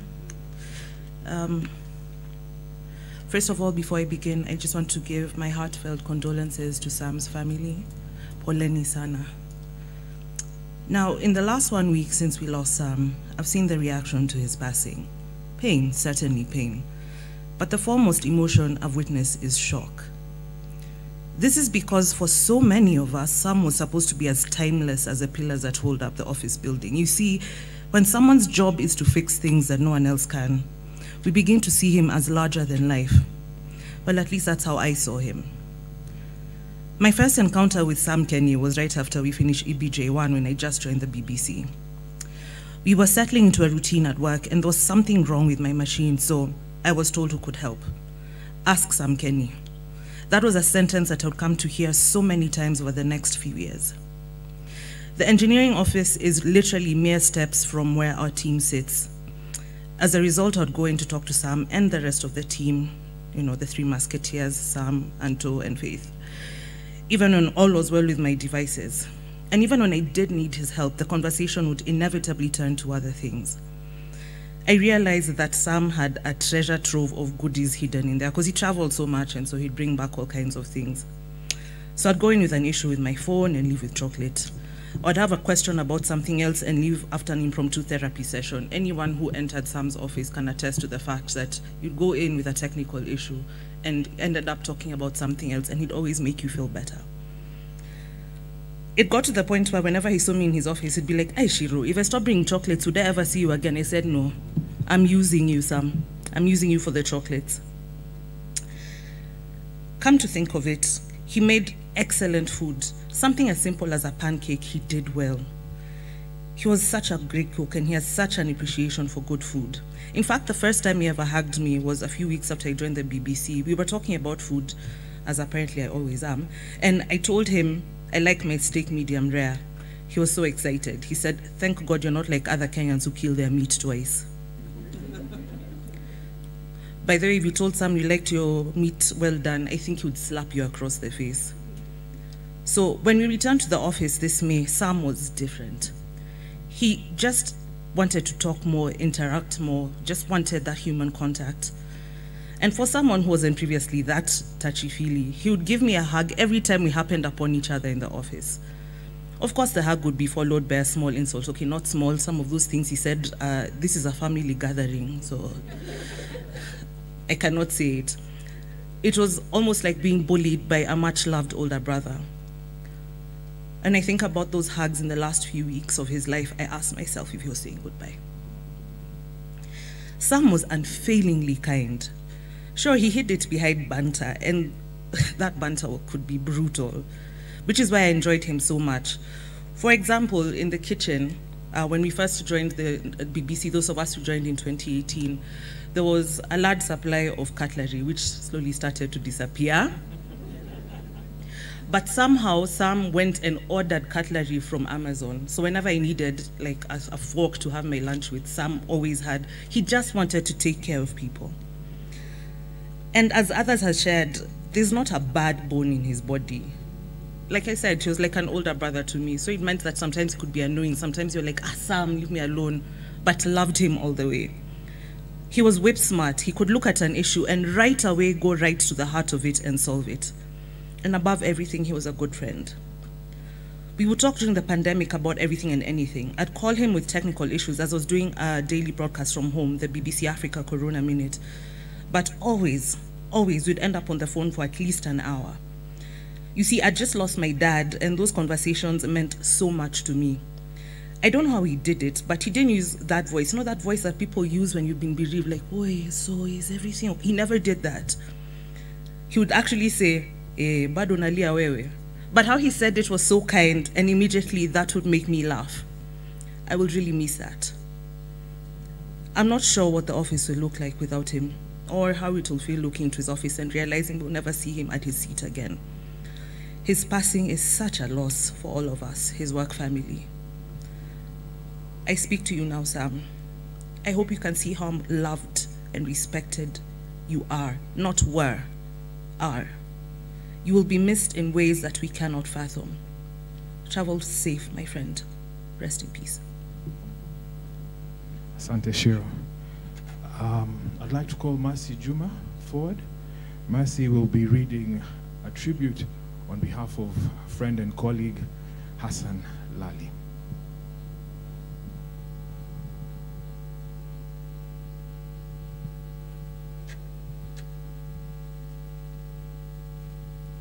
Hello. Yeah, so this has been written by Hassan Lali, who is a great friend of Sam, a colleague and um, family friends. when I think of Sam, I'll always remember his willingness to help others, his altruism, his charm, and his sparkiness. I joined the BBC in 2010, and Sam made my settling in super easy. I instantly felt at home. We became chums on day one, and I remember without wasting time, his cheeky, humorous nature brought him to say to me, Hassan Lali, speaking to you over the phone, you had a faint British Asian accent. We thought you are a Sikh, but you showed up as a black man. This comment still baffles me to date. Our tiny engineering room at Longonot Place was our little refuge from all the technical stresses, but also a center of excellence. Thanks to Sam's guidance and work tradition that enabled me to learn quality, continuity, dedication, perfectionism, the whole nine yards. Sam equipped me with how not to fail when it comes to working. He knew how many beans make five. I got all the plan A's, B's, and C's from him. I am better today because of his foundation. When his bon vivant character, Sam introduced me to the best of things. Our birthdays are two days apart and would at times cut cake together. Both of us being Virgos, we would fight for fastidiousness in everything we do. I would suggest the best, and he would recommend the exemplary gadgets from mobile phones to high end watches, music systems, food, fashion, you name it.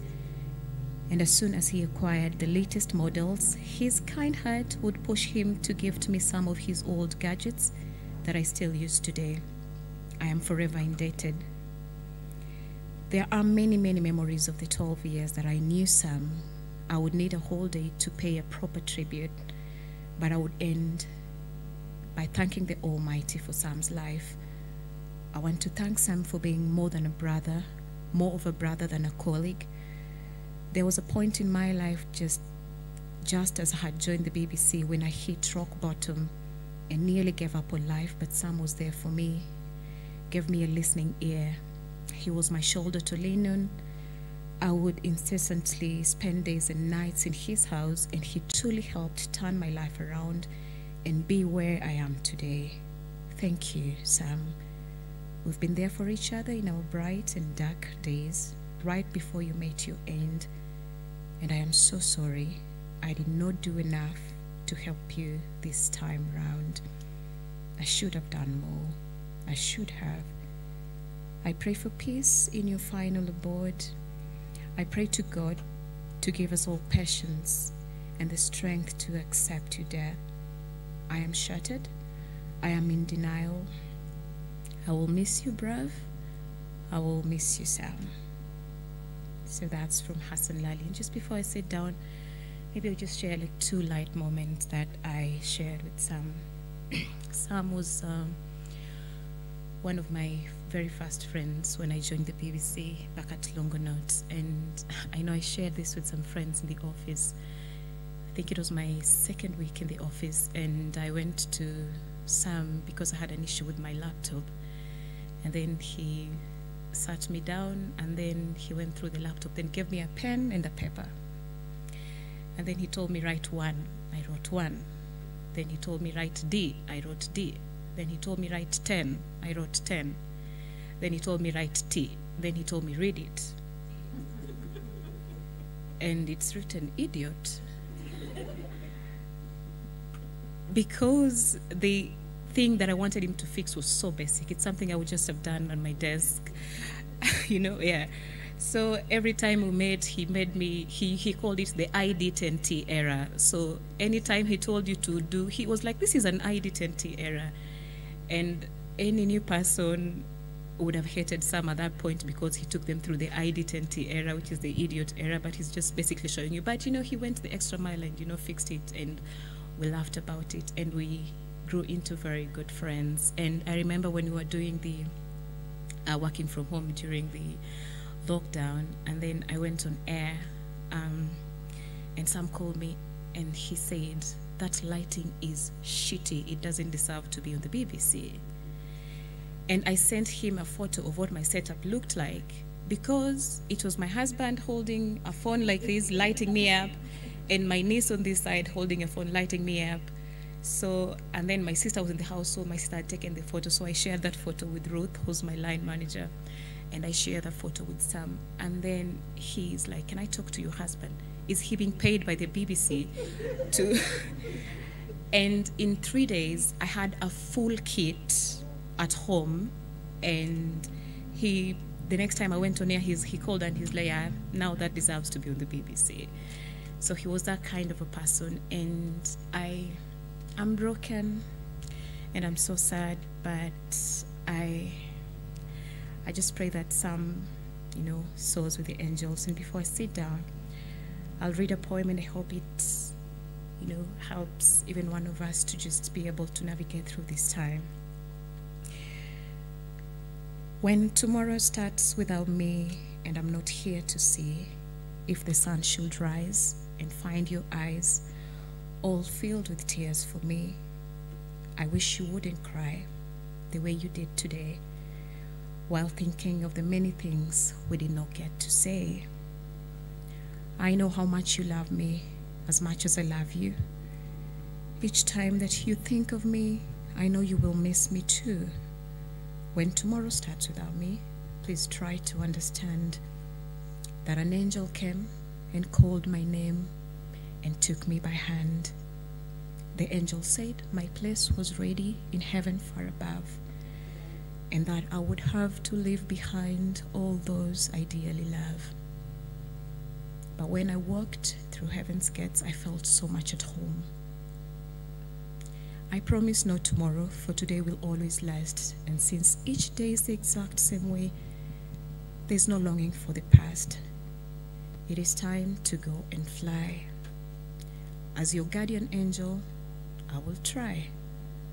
Don't cry for me today. I'm on my way. Soaring through the sky, I watch all of you telling me goodbye. So when tomorrow starts without me,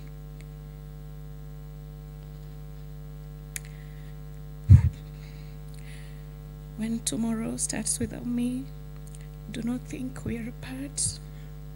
For every time you think of me, remember I'm right here in your heart. Thank you. All right, let's have George Rambo.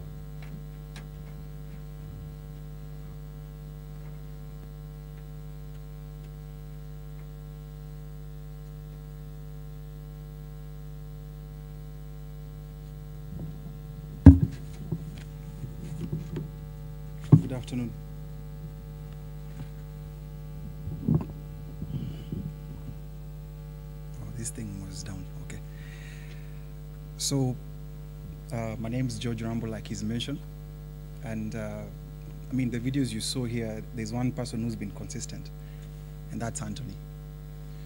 So, I think it will be very prudent for us to just, you know, just check on him because I know it's going to be extremely hard for him, besides his family, on uh, how he will proceed on after, with all this that has happened. And my deepest condolences to, to his family and to the friends who are here, and to the colleagues who just didn't see him as a colleague, but also as a friend. Uh, first, I'm non-editorial.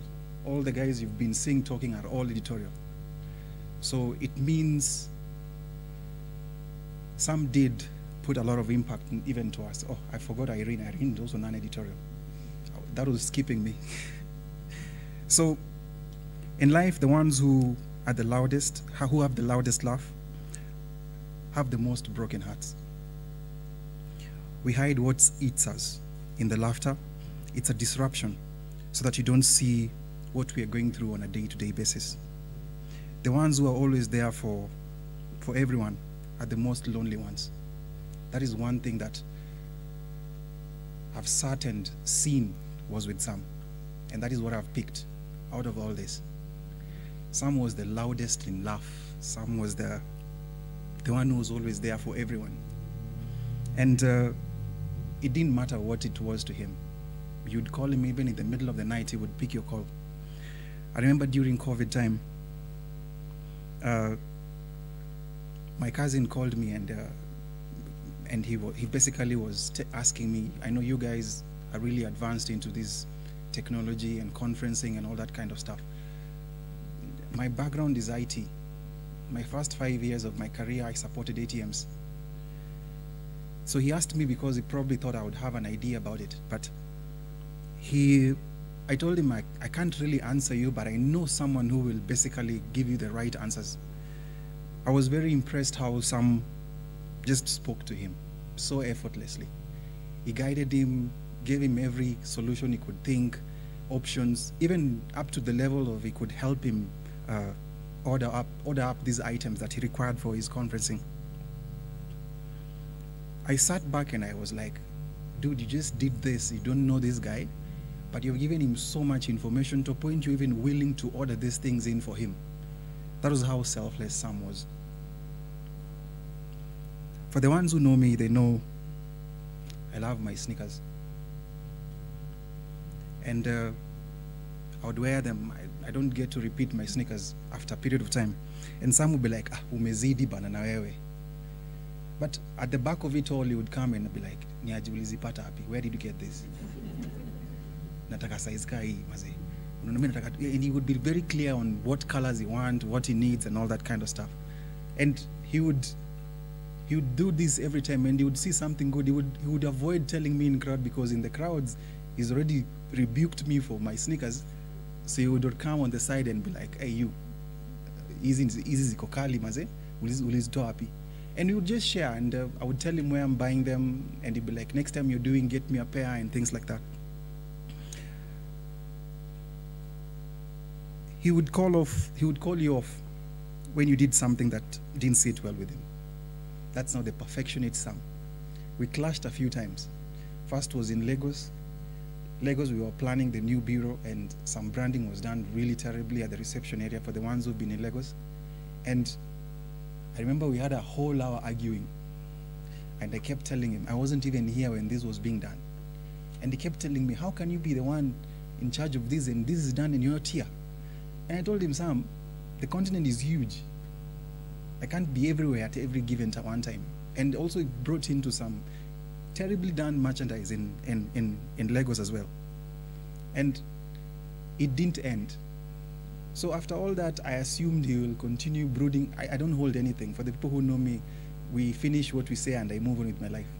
He called me and uh, we went for dinner at a Chinese restaurant just next to where we used to stay. And even at the restaurant, it felt like he was a chef at that day. He kept directing this guy what needs to be served and how it should be presented. And I told him, dude, let's just eat. What's with you? Come on. So, and a few times, you know, he would just call, he would just call me in the middle, and we would talk for an hour, and I can't even remember what we talked about, because half the time I'm, I'm, I'm, I'm asleep, and he's just, you know, telling me everything that I don't want to hear, and uh, I'd be just like, okay, fine, are you done? Can we do this tomorrow? But he will keep on and keep on and keep on and keep on going. So, Sam has been part of BBC footprint in the continent from South to North Africa. He's been in every bureau in this continent. he's played a very vital role as far as setting up BBC in this continent. In this continent. I remember in, in, in Lagos, they, they would always refer to him as Ogasam because he was a top dog in Lagos. Everything started and stopped with him. Any BBC office you'd go, whether you're in Dakar, whether you're in Joburg, whether you're anywhere, the one person everybody would ask for is, Where is Sam? Uh, there's one thing that Sam kept telling me. The day he knew I'm Luo, eh, he was so he was so thrilled with it because he kept asking me, "What is dull name? Where did you get it?" And I told him, "You know, I'm Luo, so it it comes with just being that." And he told me, "Yes, he's also Luo." I'm like, "Please, your name doesn't even sound anything Luo." And he went on to tell me, "I'm a man of Nyadi, man of style." And for sure, Sam had class more than any public primary school around here. And he was there for everyone. I mean, there's a lesson in this. We spend most of our time in life in this place we call work. Very limited time we spend outside work. We have weekends, and half the time we are asleep over the weekend.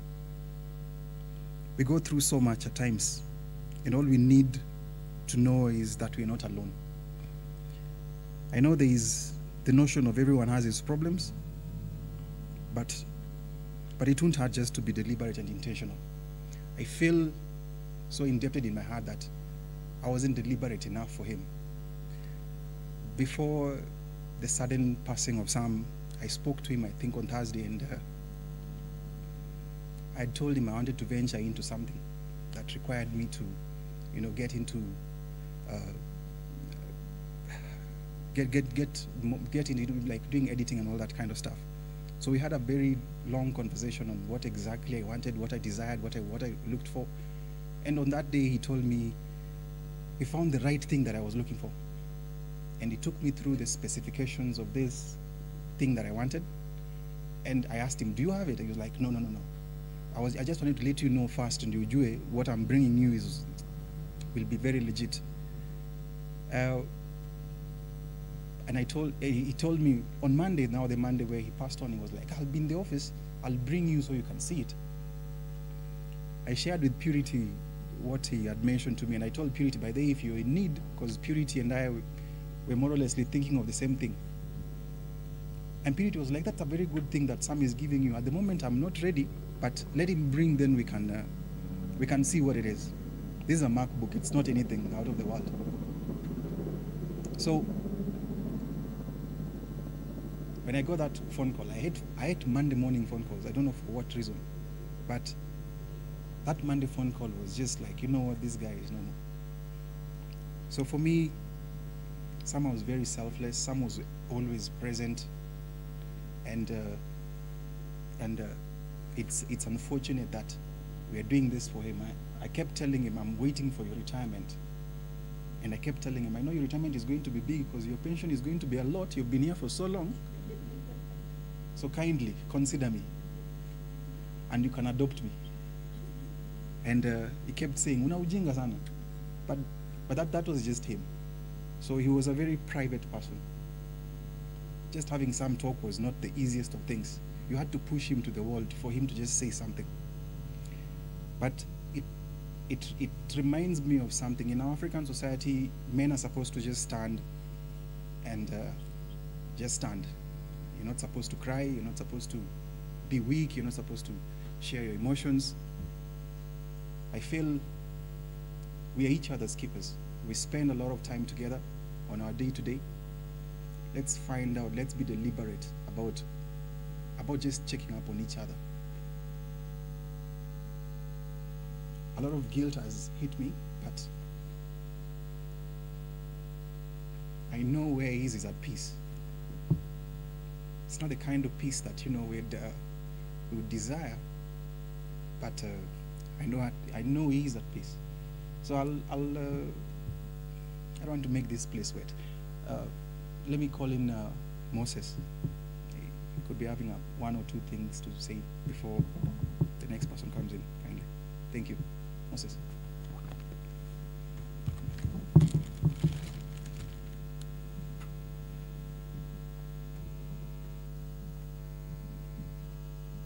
Thank you, George. Um, as he said, my name is Moses. Uh, it's a tough day uh, for all of us. I must say, um, I was taken aback when Kevin Mashiro took us back many years ago when I met Sam um, at Longonot, when we just joined Mary and I as the non-editorial team. I think we were the very first non-editorial team to join the BBC, and Sam, we were in a makeshift kind of office, and Sam created this small space for both of us. And um, he first asked me that, do you like it? You know, there were the old PCs, not laptops, and a phone, like, you know, those government offices. And he said, do you like it? And I said, it looks good. You know, I was in a tie, you know, maybe in a kind of advertising suit. And we felt out of place. And the guy made us feel at home, let's be honest. Um, and when I think about it, it's like he did the same thing, very nice things to everybody. You know, the stories I've had since his passing um, are very touching.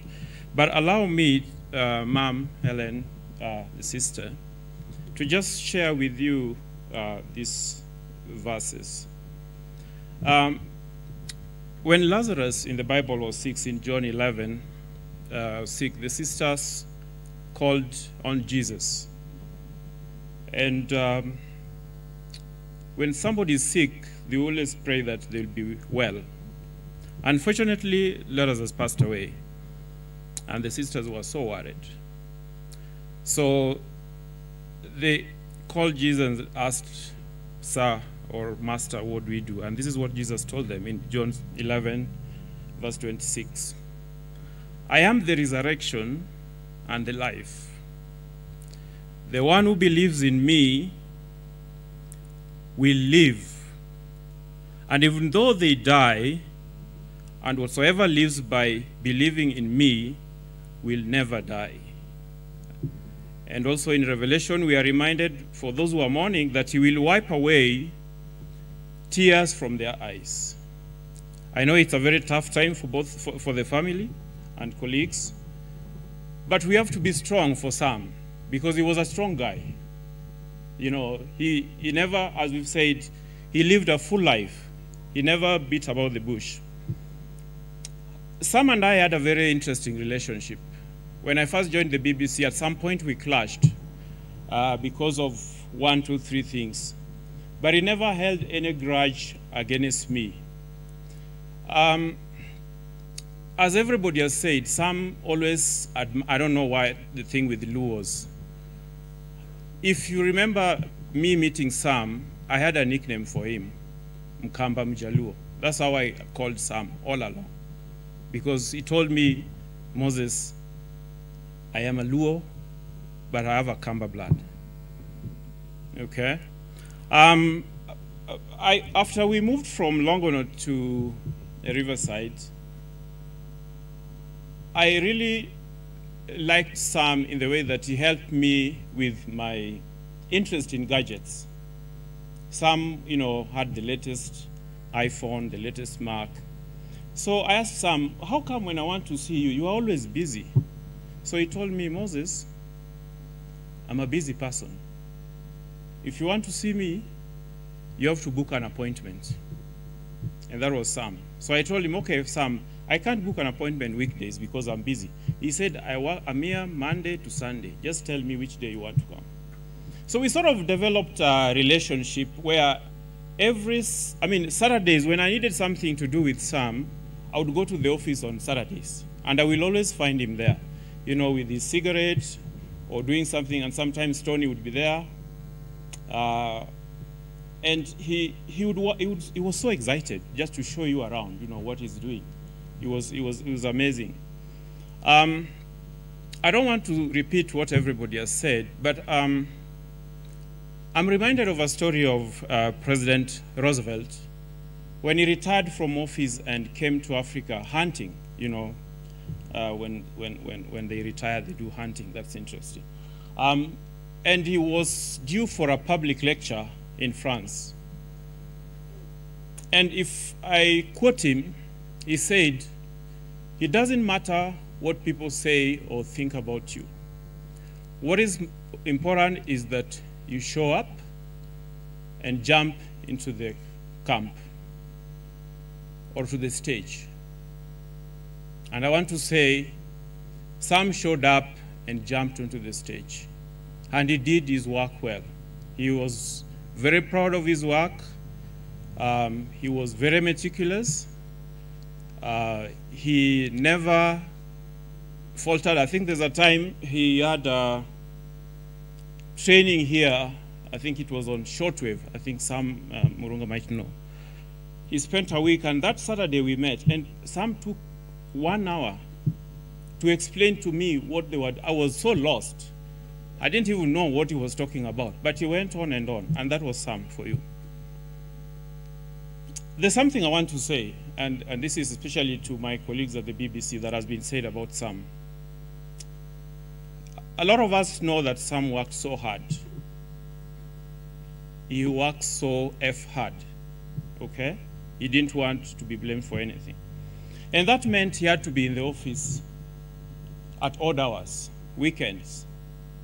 And I keep, I keep, wondering, is that something that is good or bad? Okay? Does it take away something from you that is so essential, that is so crucial in your relations? It's good to work hard, but I have a question for my colleagues this afternoon. Um, maybe they need to work hard with moderation. I just want to condole with the family once more and say, poleni sana. Uh, this has hit us hard, as they say, below the belt. Um, we didn't see this coming, and we are all grieving with you. May you find peace and comfort from the Lord, who provides every comfort that we need. Thank you.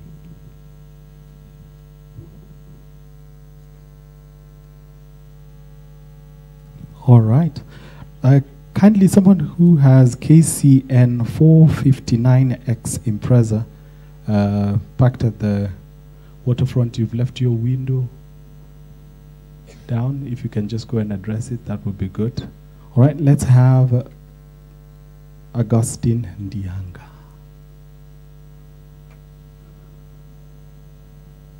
Is he here?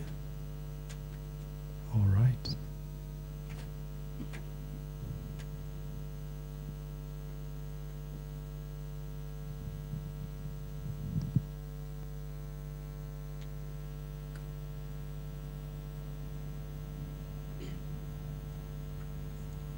Good afternoon, guys.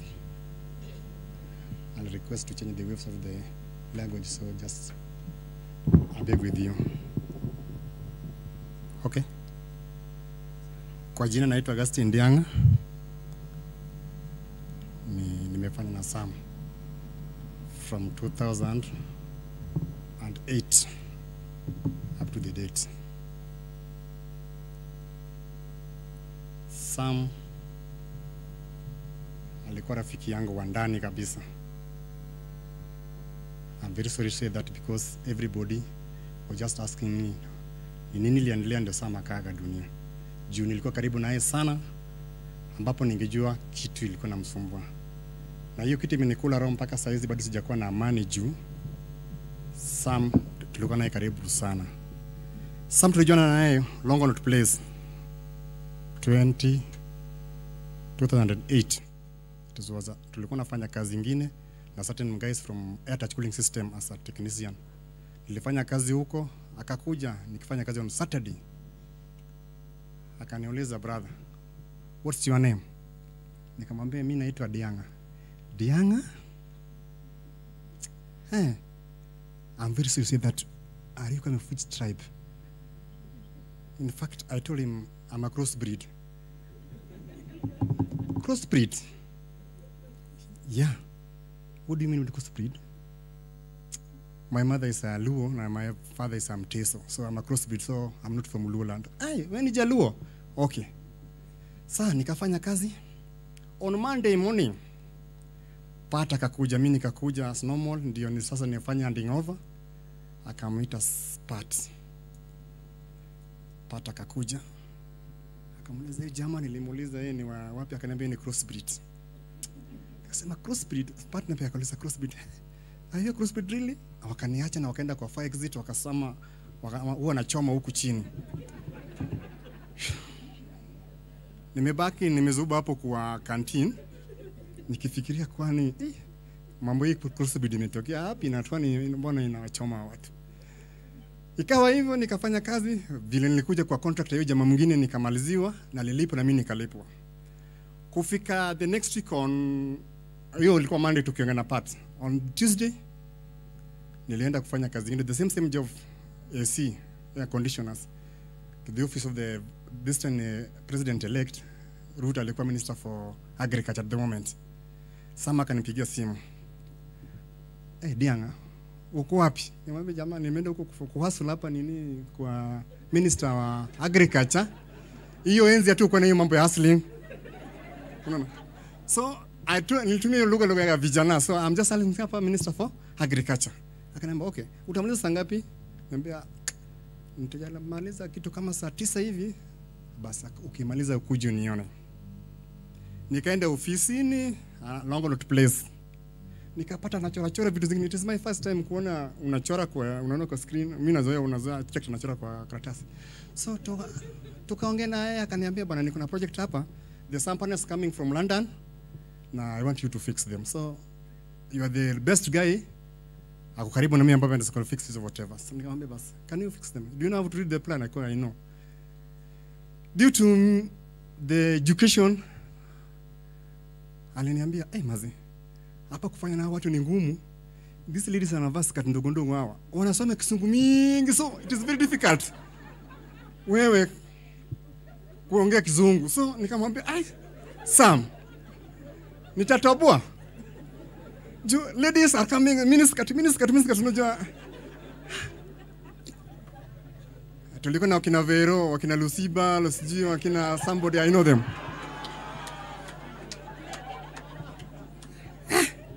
Nikasema, akaniambia sawa. On Tuesday, on Wednesday, akaniambia this is the plan. Haya, nikakagua kuka na ile elimu yangu ndogo hiyo pia na ameniambia wasichana pia ni warembo hapo, chunga sana. Nikamwambia sawa tu, mimi pia niko hapa, mimi pia ni mrembo, a from Lowland. So in fact nikafanya quotation nika forward. Nilifanya quotation ya 500 and 200,000 500,000 kitu kama hicho. Akaniambia Dianga, umeruhusiwa kufanya kazi. It was on Thursday. On Friday pesa ilitumwa. It is my first time kuona pesa mingi maishani mwangu. So nikatumiwa 500,000 Kenya shilling. Sina account juu sikuwa nimefungua account. Nilitumia account ya brother yangu mdogo alikuwa mjanja kuniliko juu mimi I was just a carpenter general profession. Ai, nikamwambia Diana, hii namba hii ikitumia pesa utafika salama. Nikamwambia itafika, huyu jamaa ni brother yangu na nimemwamini. 500,000 nikatumwa kwa account ya huyu jamaa. Alituma mpaka ya labor zote. Hey, nikamwambia Sam, unatuma pesa mpaka na sijafanya kazi? Nikamwambia Dianga, I trust you. Usiniambie ni crossbreed. Kwa hivyo una ile damu ya unajua hapo. Sasa sikutaja. Haya. Ilikuwa Friday. Ilibidi mimi mwenyewe sijui aliniambia inamaliza 3 hours alafu pesa hivi. Nikachukua my brother, hizi mabanks wanakuwa ruhusu pesa hivi after 3 days sijui vitu kama hizo 72 hours. So nikaenda paka airport. My first time kuingia airport. Eh, tunafanya screening nasema eh, kwetu ni wapi? Kumbe brother yangu alikuwa mjanja naelewa. So tukaingia airport. Tukaenda pale banki na kutoa just wazi tu unatoa pesa tu hivyo. Tukatoa pesa 500,000 nikabeba pesa nikashindwa eh, hii pesa inaenda na wapi? Nika kisha kumbuka Saturday nikaenda kubai materials. Saturday usiku nikafanya kazi mpaka asubuhi. Alipiga simu saa 12 akaniambia Dianga, umefika wapi? Nipigie picha. Nikamwambia picha yangu ni Bonoko, mimi sina hii mambo ya touch. Eh. So nakuja by saa nne. Akifika saa nne alikuja. Alikuja na some chakula kingine kutoka siji Steers. Hoteli hapo Stiers. Niliona hiyo karatasi imeandikwa Stiers. eh, akanipakulia tunakula tunakula na vijana wangu alafu nikamuuliza Sam, sasa uniletee chakula bwana, unajua mimi ni mjaluo from huku down Kenya, so mbona kuniletea chakula kuna soup? Juu mimi nimelaki chakula juu sijaona soup kwa meza. Alinichekelea, ikawa tumeenda hivyo juu alikuwa the best friend, tulikuwa tunajadiliana naye, tunaongea naye kuhusu kikazi. Ikawa my first time kuonekana kwa screen, this is the second day kuonekana kwa screen maishani mwangu. Tulikuwa na wengine sijui a certain journalist uh, aliwawa along the Middle East, ikawa tunapiga piga tape hivi msiongee na mnapigwa picha hapo along not hapo juu. Tulikuwa na some lady anaitwa Charlotte na some second na uh, Sarah Charlotte Charlene Chaluti yeah. na Ken Mungai alikuwa photographer. Tony Mashega tulikuwa naye eh, nikaona mimi napigwa picha hivi najiona ukule, nimefunga mdomo na sellotape. Nikasema eh, kumbe inakuwa tu hivi. So Sam, nimepita mambo mingi na kutoka kwa Sam na hata imeniudhinisha sana juu hii kifo chake si geni vile, ni kitu tulikuwa naona tukielekea hivi, so tukaama Longonot tukaenda Riverside. Harakati tulikuwa na watu tuhamisha Longonot tukaenda Riverside, I think there was such an election in Uganda wakapanga na Anto furnitures zikafanywa zingine auction na akaniambia Dianga, mimi napanga uende ufanye setup wapi? Uganda. Nikamwambia eh, Sam, mtenda Uganda na Uganda kama Changirai inachapwa hivyo. Sisi Changirai sijui ni this guy Bisegi. Eh, Bisegi na chapwa hivi na Museveni. Mimi nikienda huko na unajua sisi wazee wajamii wetu walibaki huko tukitoka along the River Nile. Si mimi nitachapa sana, akaniambia hapana. Do you have passport? Namwambia, "Ai, passport hiyo sasa ndio nimeanguka juu sasa. Huko wanahitaji vitu mingi na mimi sita birth birth certificate. Hai. Sasa nitafanyaje na tuoni tayari anacheka tukiwa naye. Haya tukapakua vitu zaenda UG zimeenda tu, zingine tunatoka tunapeleka Riverside. Riverside nilijoin battalion. Jana jeshi nilipata tulikuwa na a certain guy Moses Kalande I think it is here. Great, great my brother. Sam is gone nowhere to be seen again. Thank you. Tulifanya setup ya Nine Riverside tukamaliza na Tony tulikuwa naingia kazi very early in the morning saa kumi na mbili tu- pick tupika hapo Ayanda in house tukienda job. Sam ni mtu alikuwa anapenda kazi yake, na Sam naweza kupenda kazi kwake ndio amefanya hawa wote warembo wote hawa wamefanikiwa juu ya Sam. Juu hakuna mtu amekuingia hapo bila kupitia mkono wa Sam. Mi as a layman from Luland ambao hakuwa na elimu na sikuwa na uwezo, saizi nazaonekana kwa TV, it's wonderful and appreciate him. Tumekuwa na Sam along the weekends, tunashinda tunafanya naye kazi, saa zingine kazi inaharibika. Wajuaji ambao wamesoma, unajua kisungu mingi, wanasema alafu baadaye wanaenda nyumbani, wana expect by Monday kila kitu vya sawa, na yenyewe Monday watapata everything is okay, mpaka wanasanga kwani? Nyinyi mnafanya kazi saa ngapi? Hiyo weekend yetu tumefanya na Sam mpaka tumepata everything is okay. Weekend tunakula, so harakati covid imekuja. Tunaongea na yeye namwambia sam I'm just a, a minor. A minute uchungulu kwa hii company na ah, wanasema watu wana work- working from home. Naona una build some computers hapa hivi. Sasa hii nyundo yangu na screwdriver hivi nitafunga nyumbani nilipwe? Eh sama kaniambia bwana hiyo swali umeuliza mazeni hard lakini si hata mimi. Mimi nashindwa lakini tutaona. Alinimotivate yeye na Tony. Huwa tunakuja weekends, zile kazi zinafanyika tunafanya. Kawaida tu mpaka corona ikasi. Nikamwambia Same, mbona huja hujachanjwa juu ya corona? Akaniambia bwana, hii corona vile nilitoka majuu, alitoka alitoka Sierra Leone akakuwa quarantine, kitu iliendaga hivyo. So penye tumepita na Sam ni mengi. Bwana Moshiro, thank you. Tulikuwa na State House nikihamisha Sam, nimepeleka hapa hill, nimemhamisha hapa hill, nikapeleka mpaka Syokimau everything nyumba yake painting carpentry work everything mimi nimefanya na ameniuza among this wafanyakazi wenzetu ni ak, sidhani ni wachache tu ambao ni sio nafikiri ni wachonde wajanipea mimi job kulingana na Sam. Unajua kabla hujanipea job ni wewe ni mchoyo juu Sam amenijenga. Kila mtu amemfanyia kazi hapa. So nikiongea mambo ya Sam nasikia leo niko sawa. Juu tu, tangu Sam aage sijamuona na nilikuwa naomba at least tupate nafasi ni mwene mwili at least roho yangu iridhiki, lakini na, naona leo nimegain momentum. I appreciate. My team managers, nime appreciate nyinyi, mjanichukulia kama mtu chungulu mbele yenyu. Mnajua huyu mtu ni mtu anafaa na anafanya kazi ambayo ina benefit company. Nimefanya kazi hizo siku zote ikiwa Sam kama contractor, nafanya quotation, nafanya evaluation, nafanya kazi nalipwa. Ikifika wajuzi last year, last year but one, Sam na Pat Sama on Sunday akanikujia akaniambia, Dianga, tumeona tumefanya kazi naye from 20, 2008 mpaka saa hizi tulikuwa naonelea at least utujoin tupee contract. Nikamwambia Sam, si wewe najua Jaluo, jua Kikwitu watoto wahesabu hivi, lakini kwa wale wanaona mimi ni wangu wote niko na saba.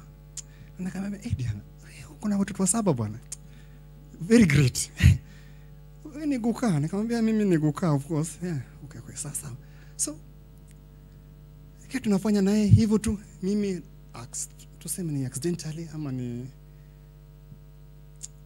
I can't elaborate it. So nilikuwa mgonjwa na wakakaa chini, nilikuwa nimelemewa kabisa. The time nilipata nikilala along the balcony hapo hivi, akaniambia Dianga, umelemewa? Brother Mose can tell that. Dianga, umelemewa? Nikamwambia toa Sam, haki nimelemewa, lakini kwa vile hii kazi yangu lazima niiwe physically ndio nifanye nini, lakini sina nguvu. Akaniambia Dianga, please, nimeenda kuongea na Pat, enda nyumbani ufanye nini, urelax. Nilikuwa nalemewa at the weight of 71 umerudi mpaka 46 Sama niliangalia hivi na Tony wakaniambia, baba, enda upumzike. Si kupumzika hata umeenda binguni, lakini enda urelax tu nyumbani, angalau ugeni nguvu. Alafu usijie ni roho iliingia mwini mwao, wakanunua certain uh, stuff. Ilikuwa certain unga ingine fani fani hapo hivyo na kitu kama 25 kg walinipea, mimi nikaenda nayo shago. Sasa njoo mimi niko hapa na watoto mama ndio nashughulika, akaniambia wewe kazi umefanya, wacha tutakulipa na uende home. Nikaenda nyumbani, nimekaa for 32 days nikitumia hiyo that stuff. Tizuweza kama selak, unajua vile selak ni tamu. So mimi na nikiwekewa kijiko mbili, watoto pia nyuma yangu wanawekewa za na imeandikwa stahili mtoto zaidi ya 18 years afanye nini? Akunywe hiyo whatever. So ikawa tunavurukana na watoto. Watoto pia wananing'ania, ah, dadi akichochoka analala hivi, sisi pia tunanyemelea hiyo nangono nini hiyo maziwa. So ilikuwa hard, nikapona, nikampigia picha, nikafunga kikoi, mimi nimebeba mjukuu wangu ambaye nilipea stress juu stress ilikuwa watoto wangu wawili walipata ball. Hii ni jina ya vijana, so wakienda kufanya mitihani ya form 4. So hiyo kitu iliniingia akili mpaka ikawa sijui penye niko. So nikakuja akaniambia, eh, Dianga uko, yuko sawa? Baada ya huko sawa, please enda nyumbani wiki mo wiki moja. Nikaenda nyumbani wiki moja. Okay, ona Anto. Nikakaa wiki moja nikakuja. Pat pia anikuja ninaangalia. Na iko swali lingine ilikuwa nauliza hapo BBC ambapo bado iko. Uko sawa? Hiyo swali iko sawa ukiulizwa baba? Hii mazi. Akaniuliza Denga, uko sawa? Nikamwambia niko sawa. Eh, okay. Pata akakuja kaniambia Denga, uko sawa. In fact sikujua kama Pata najua Kiswahili. So nikashindwa hii part nitaongea ni lugha gani juu Kisungu influence Kizungu continuously kitu kama hivi mimi kama yule former governor wa Nairobi. Kuongea Kizungu ni ngumu.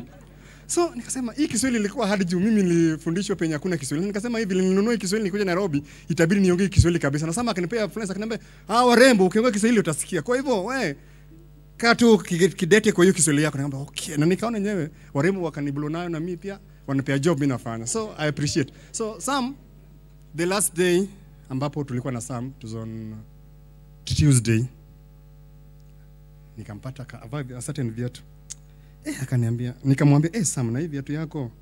Tunamwiteka viatu ni moccasin iko sawa. Eh, hii ni sawa. Na hii ni kama ile yako iliharibika. Wakati tulikuwa na maisha tulipata viatu zingine huwa haivai. So nikamwambia hii ni ulifaa vizuri haiharibiki kama ile ilikuwa ya nyumbani. Akaniambia eh, eh, sawa iko sawa. Anakutembea ta ta ta. Tunangotia ndo kama amaze umeongeza weight uko sawa eh. Ah uko sawa brother. Amaze sawa. So tukaachana hivyo. Lakini kamwona nikamwambia Sam nika umekosa usingizi juu naona ni kama tulikuwa naongea naye kinagaubaga tukiwa naye. So hiyo ilikuwa last Wednesday, last Tuesday.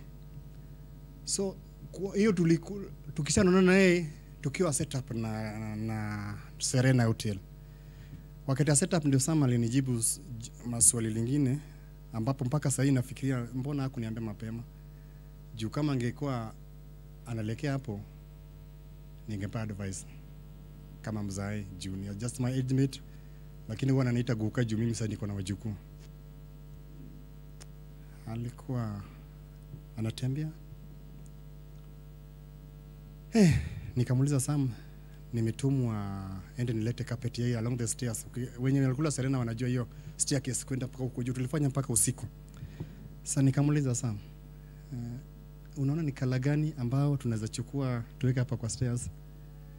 From those year, 13 years ama 14 years Sam alinijibu is none of my business. Eh. nikaenda kwa nikamwambia sama amenijibu na hiyo swali aniridhishi akaniona pia nime nimekuwa haunted kwa roho. Mi pia natembea pia natembea. Alafu nikamwendea tena. Tulikuwa na jina lingine tunajoke naye nikamwita tapir ananiita dino dino hii ni an, an, nickname nilipewa na former project manager Astar Bay kutaja Diana ilikuwa hard so ilikuwa ananiita mi dino eh. akaniambia hey, dino aze hujua mimi nazoea Nairobi Express. So hizi naweza panda nishuke pale chi pale chini. Hmm. Ai, sikufikia hiyo jamaa ananiambia nini. Na ikawa hivyo na akaenda tu hivyo. So it is very sad. The last bit tuliongea naye ilikuwa that Tuesday na ameenda please. Uliza mwezi wako ako karibu na wewe uko hai? Uko hai? Mwezi yote ako karibu na wewe hebu muulize tu uko hai? juu that life is very important kwa maisha yetu muwe mnashare kitu inasumbuka roho ongea na mwenzako time zote. Akuenelezi kinagaubaga i used to talk to sam. Usiku. Sam alikuwa ninongelesha mpaka saa nane usiku. Kuongea ni muhimu tafadhalini. Nimewashukuru. Wazazi i know you. You know me as a family friend. From the word cut mom. Tulikuwa na wewe. Brother tulikuwa hapa ili tukihamisha sam nikadrive mpaka hu- huko na kila kitu nimefanyia kwa nyumba nafikiri nyinyi mnanijua.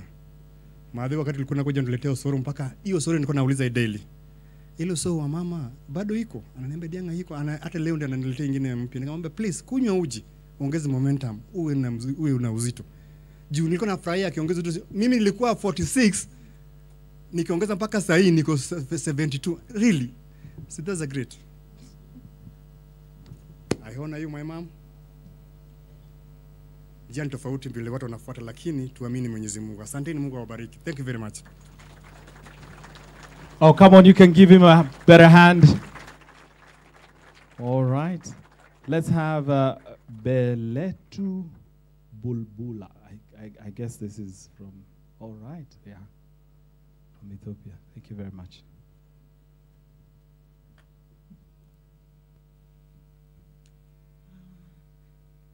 Good afternoon.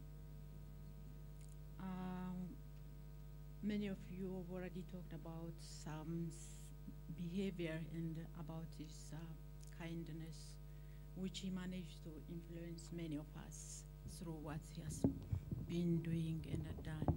Let me talk about some very brief thing. Uh,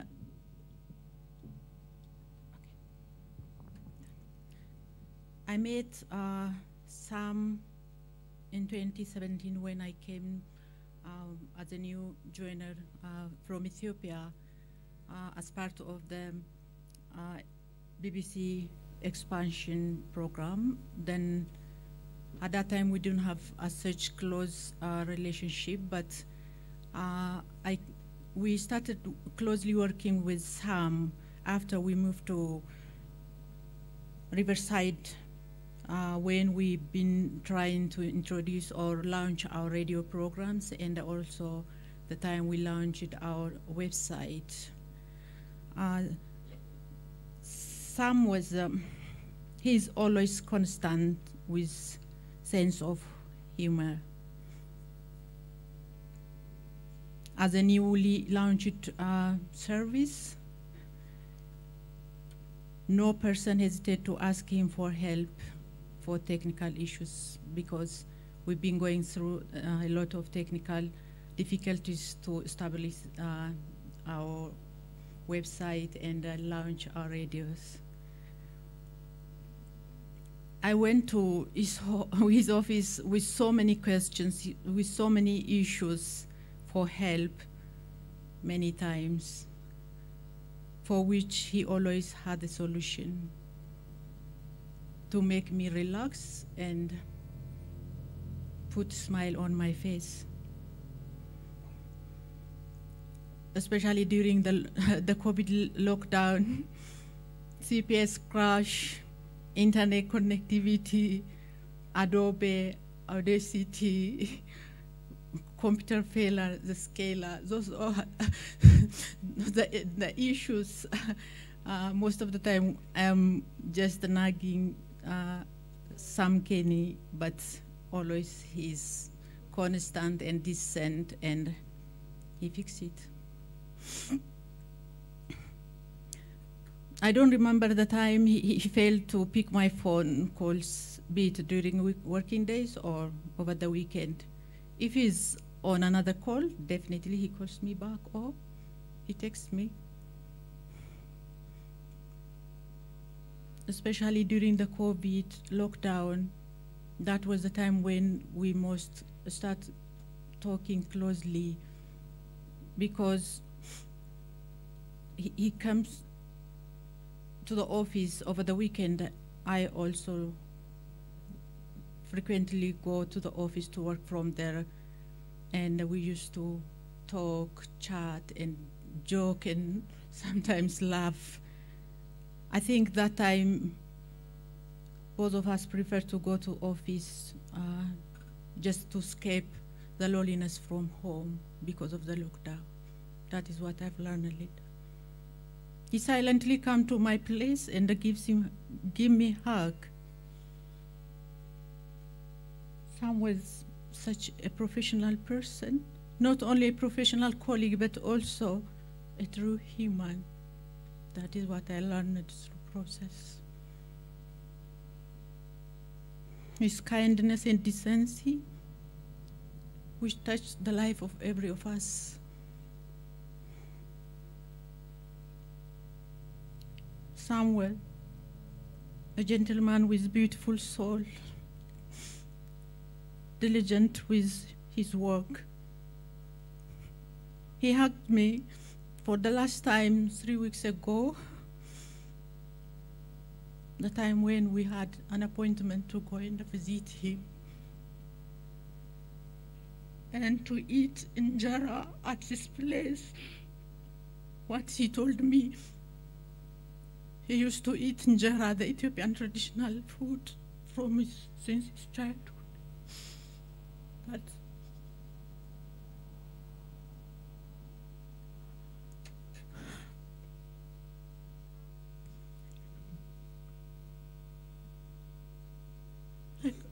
I, couldn't make to go and see him because of some other issues.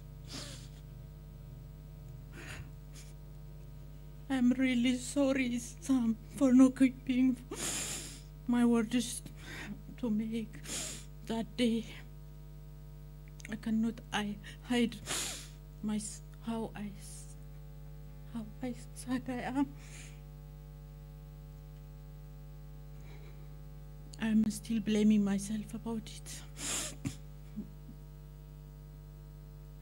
I want to say thank you always for talking, taking time to talk to me, for hugging me, for helping me, for putting a smile on my face. You beautiful soul, rest in peace. sir.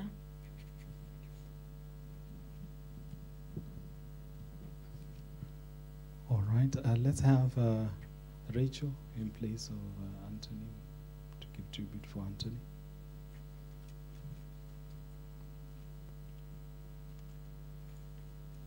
Okay, um, I think one name that has been mentioned uh, over this morning has been Anthony Mwashwega. Anthony, as I said earlier, uh, was a very close friend of Sam. They worked together, and I used to call them twins because they were always together. Ant- Anthony has requested me to read um, his tribute on his behalf. So here we go. Dear Sam, my big brother, closest friend, confidant, mentor, boss, advisor, and so much more. Only God knows how many lives you touched with your selfless and generosity. I'm testament to this because of spending so much time together. You gave me a chance when I was just a teenage boy. You mentored and guided my career. There is no way I could thank you enough or repay you, SK, but I'll mirror your generosity and selflessness every day. Thank you for the countless stories and jokes you shared when we were hanging out or working long hours, days on end. I hope I was good company for you because you sure were for me. I'm so sorry you suffered so much these last few months when everything seemed to have gone so wrong. I keep thinking of the different paths we would have taken. Maybe things wouldn't have ended up here. We are all in great pain and sorrow, but we will remember the many years of happiness and laughter that you shared with so many people. Ian says you are in heaven, setting up for the Queen's reception. It makes sense. Only the greatest would be call up, called upon for a heavenly OB. That's an outside broadcast. As I bid you farewell, Sammy K, I wish you peace and all the divine luxury you deserve. Rest in peace, the great Sam Keni. Mutu wanguvu sana.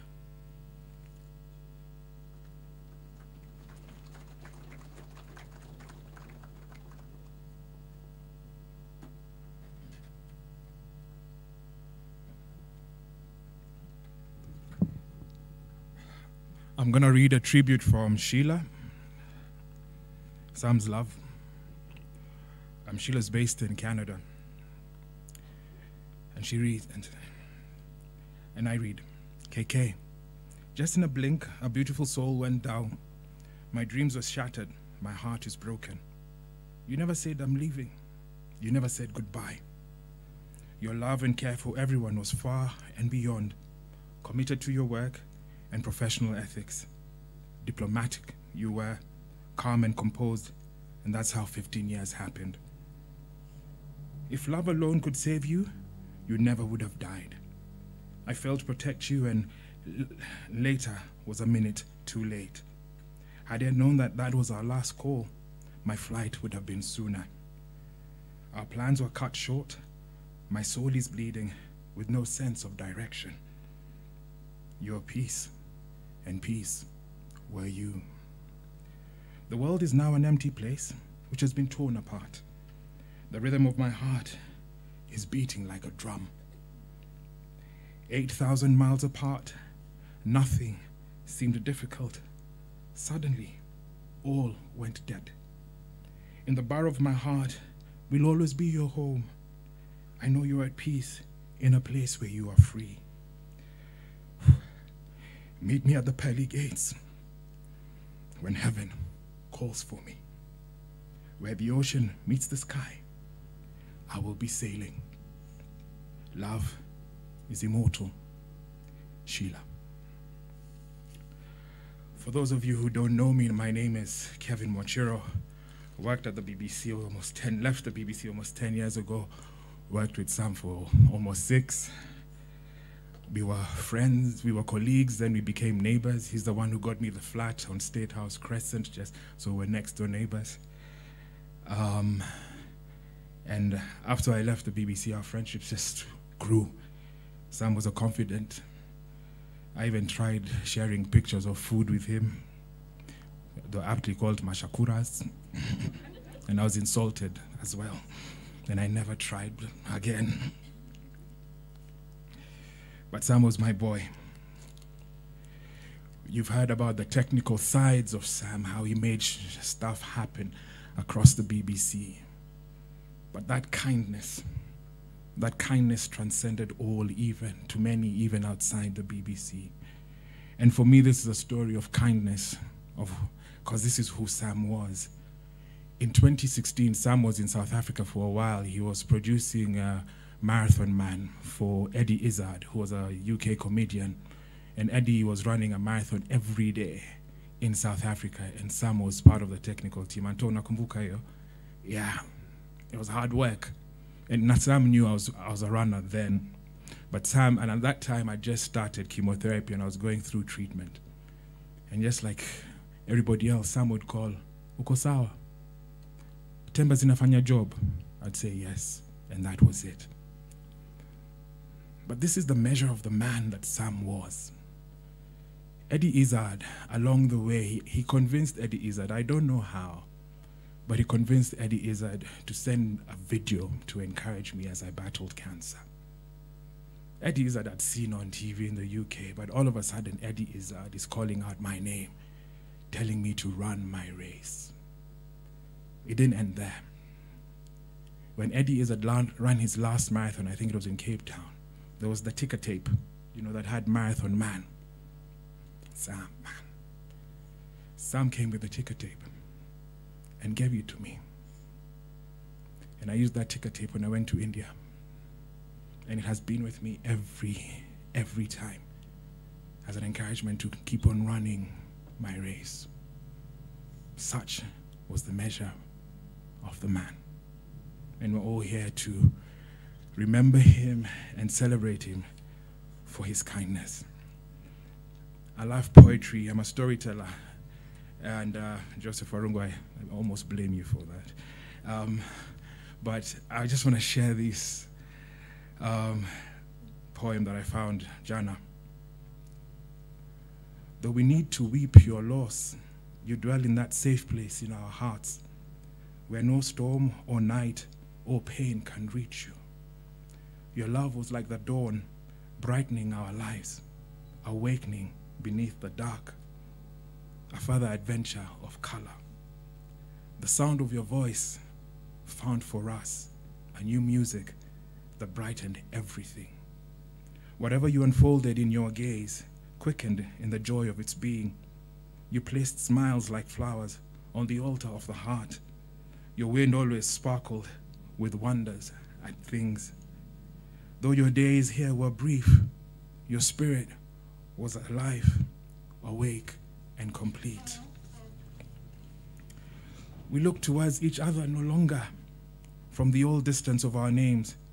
Now you dwell inside the rhythm of breath, as close to us, as close to us as we are to ourselves. Though we cannot see you with outward eyes, we know our soul's gaze is upon your face, smiling back at us from within everything to which we bring our best refinement. Let us not look for you only in memory, where we'd only grow lonely without you.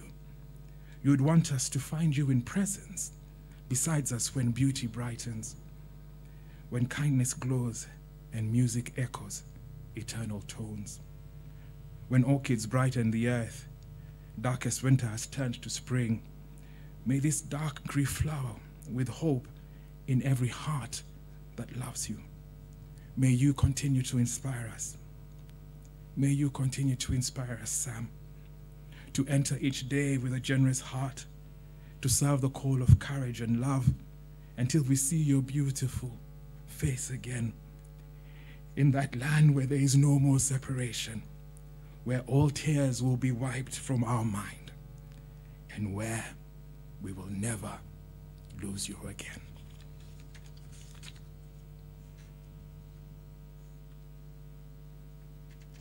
All right, let's have uh, Chris McKenna, please.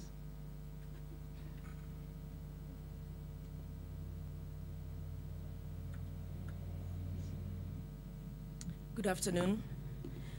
Um, when I heard about Sam's passing, I was broken. I remember messaging Yvonne and I was like, I know, th- and this is a dream, you know. I can't believe that Sam is gone. When I joined the BBC in 2018, I remember the first one month, second month, Sam noticed that I loved wearing suits. So he told me, I like you. You're very different. But I want to tell you something that this is not local media. So usiogope, even if you don't wear a suit, you won't be fired. So if you want to wear a t-shirt, shorts, be comfortable, do whatever you want. But he realized that I just loved wearing suits, and we always used to, every single time we meet, he's like, I like that suit, you know, where, where did you get it? Connect me with your person.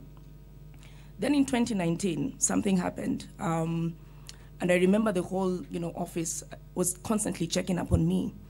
But Sam went the extra mile, and I remember he called me. He said, "You need to come back to the office." And I kept on telling him, "Sam, I'm not yet ready.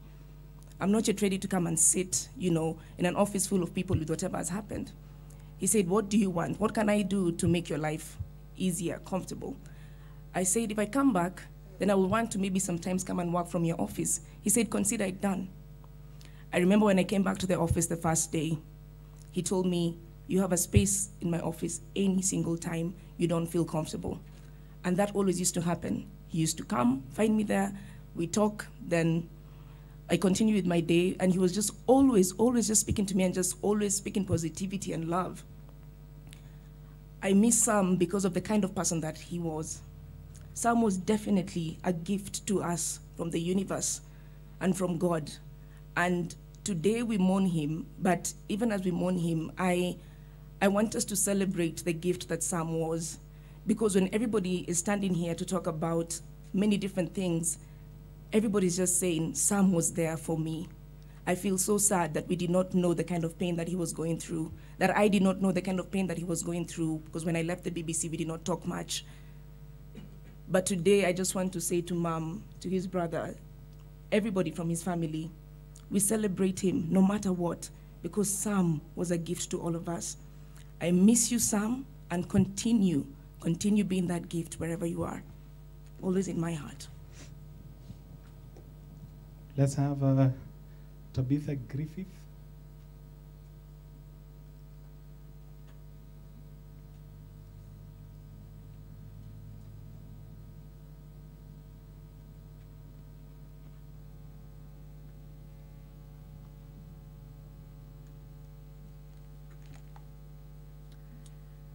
Before I start uh, reading my tribute, if for nothing else, I want to start by confirming to Rachel Akidi that she spoke earlier and she, she, she spoke about the fact that she once asked Sam if he was living rent free at the BBC offices. So I want to reassure you that indeed he had a place. And when he left BBC, at whatever time, whether it's what, at midnight, 3 a.m., he went back. And he went back to some of us. He came back home to some of us. Although, listening to you, I should have probably advised him as a friend not to pay rent if he was always at the office. I equally know that for everyone who spoke, there's an acknowledgement that Ben, I mean, Sam was a workaholic, and people then might be asking, did he even have time for friends? And did he even have friends outside of BBC? And I want to confirm by standing here that indeed he did. He had friends outside of BBC. And the, the truth is that for some of us who have known him for such a long time, every time I would pick him up because he would, he would never drive, I would call him and tell him that I am approaching the Longonot office, and he would tell me very quickly, you know, with his backpack and with his badge, and he would come quickly swiping at the door, and he would tell me in, you know, in Swahili, rudi nyuma, rudi nyuma, mafisi wako hapa, Tony atakuona. and that is how I never got into the BBC offices, but I would pick him up constantly, and I was discouraged from coming into the BBC offices. I don't know how many of you know how to make duck soaked in red wine as a routine in your houses for dinner. I don't know how many of us here can quickly whip up chicken wrapped in bacon with a side of baby potatoes and asparagus. I don't know how many of us here have a soda making machine in our homes. And if you don't have that, and if you can't cook such meals, then you and I cannot be friends because those were the standards that Sam set out for our friendship. And over the past seven days, I have typed, edited, uh, retyped this tribute because the tears just wouldn't let me finish a sentence, and the lump in my throat makes it very hard to give a befitting tribute to you, my darling. What started out in 2005 as a simple lunch at your place turned out to be many years of me morphing from being your cousin's girlfriend to being your pimp because I insisted and I kept asking him, Why don't you have a girlfriend? I haven't seen your girlfriend. And he would cook. And then I would forcefully bring a parade of babes and insist. And with each one of them, he would tell me I didn't like her nose. she chewed too roughly. I didn't like how she looked. And over the years, even with this friendship, I also morphed from being just a friend to being your lawyer. And I have to now publicly declare that you did dutifully pay for every single work that you commissioned. Sam, you had a smart mouth. And each phone call between us always started with banter. And I had to shout and tell you, whoa, uko kwa speaker, usichome. So that at some point you would shout unprintable names that I can't say here. And in most instances, you'd complicate every simple discussion that we had with such beautiful, brilliant angles that made me just resort to shouting so that I could win the argument. And yet, I was the lawyer. You hated leaving the comfort of your house, and Gitau's taxi became my ride each time I needed a good meal and expensive wine. Sam, you would scream at me if I added salt to your cooking. You would bitch for hours, excuse my French, how I left one strand of hair in your sink because you hated messy. One time when we were in Johannesburg, you took back a steak because it was not bleu at the Holiday Inn in Rose, Rosebank. And he took back this steak three times and by that time, I was getting embarrassed, and I was really, really sure that they were going to poison us as revenge. Sam was meticulous, opinionated, and very, very choosy. But you were also very unapologetic about the things that you liked. You had a fantastic, sharp, and expensive taste. And over the years, my ears suffered listening to all the stories because each wine that I drank at your house each perfume that you had, each gadget that you brought had a story. And you were a really, really generous giver. To the BBC family, I want to reassure you all that Sam indeed did love his job.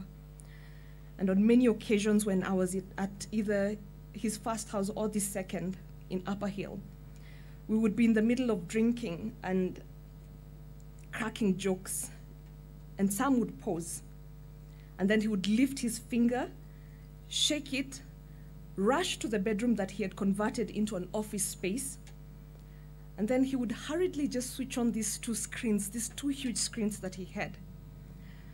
And then, as he was doing this, he would then shout back at me as I was still in the living room. And he would say, I think I've figured it out. And then I would be summoned to come and see what the problem was and how he was going to solve it. Part of the solutions that I, in my drunken state, participated in was the BBC office transition from Longonot to the Riverside offices. And in hindsight, now that I am sober, I just want you to know, in my capacity as a lawyer, that I want to categorically state that should you ever find any defects in your offices, I just want you all to know that those mm, ah, okays were not necessarily approvals from me of the alterations that he did in that state, but it was simply my way of looking, trying to look like I understood what exactly he was showing me on those two big screens in the middle of drinking. Colleagues, friends, and family, all this stuff that I'm sharing is the glue that was the bond to our friendship. And I really don't know which versions the world got of him, but I got the best version. I got the most honest, the most vulnerable version of him. If I knew that the last time I was going to see him was when we stamped those house agreements, I would have probably hugged him a little more. I have listened to everyone here say how happy he was to move from Upper Hill to Syokimau. But there's a part of me that is struggling to accept my participation in how he transitioned to Syokimau. Because he came very quickly and asked me, Where are you? And I said, I'm, I'm still at home. And he said, I am coming with a sale agreement and I am coming with the documents and I need you to sign them. This was probably the only work that he never paid for. And at that point, I kept on pushing him even after we finished the transition. And I told him, The house is now yours. What are you waiting for? Moving into it.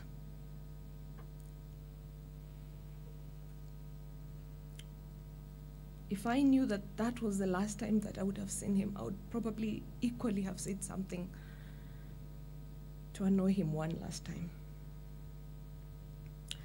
Sam, your departure has not been all dark and gloom, and some good has come out of it.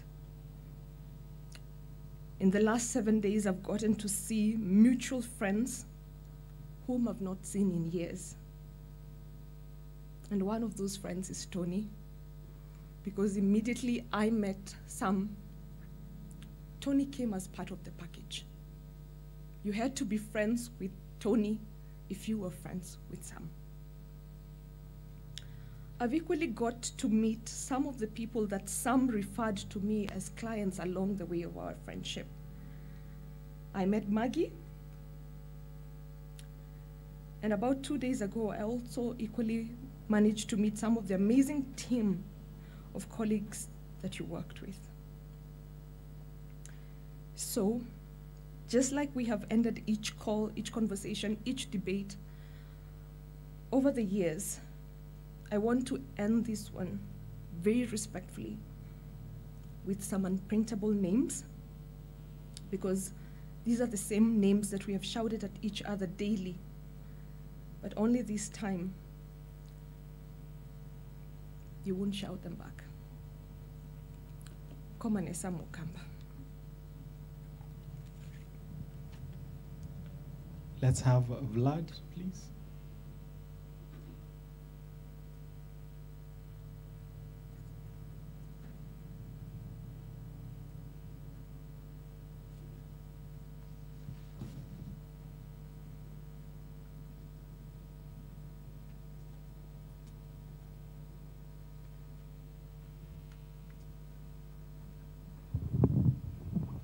Hello, can you hear me? Um, first of all, I would like to express my condolences to the family. I mean, we knew Sam really well, and I can't imagine what you're going through. Sam, as we all know, was larger than, than a lot of things. Um, on the sad day of his, his passing, it was striking to hear people crying in Ukraine, in Washington, D.C., in London, across Africa, in Lagos, in Johannesburg, and it wasn't just a, an expression of sadness. It was a, it's just a reflection of how much he touched people he knew. Um, I, th- I think a lot has been said right now about who Sam was and what he represented. I think the tribute that I would like to give to him is celebrate his life in many ways. um, there are two things that I take that I'm grateful to have met Sam, and I know people who, who work with me closely outside of, of Kenya who would agree with this, is the fact that he was selfless, and that's something that I'm grateful to have met Sam for. I want to know, I want to tell myself all the time, what else can I do to help someone? What would Sam do in a moment like this? And I want to take that with me as, as, as, an, as a tribute to him, to the friendship we had since we met, I don't know, just before 2010 and the World Cup in South Africa. An event, by the way, that wouldn't have occurred if Sam wouldn't have been there. And the second thing I would really like to pay tribute to Sam is um, his sense of excellence. He wouldn't just be satisfied with doing the smallest task, work, life, the duck with wine, the cable here, whichever, anything he would be doing, it had to be the best. It had to be the best ever. He, he was never satisfied. And I take that, that question away with me from now on. Is this good enough? Am I doing good enough? Would Sam have been satisfied with something like this? I want to pay tribute to him in these two ways, in, my, in the rest of my life. And I'm grateful that I've met him. And again, my sincere condolences to you, Poleni Sana, and to everyone who has known Sam here. Abdinur, please.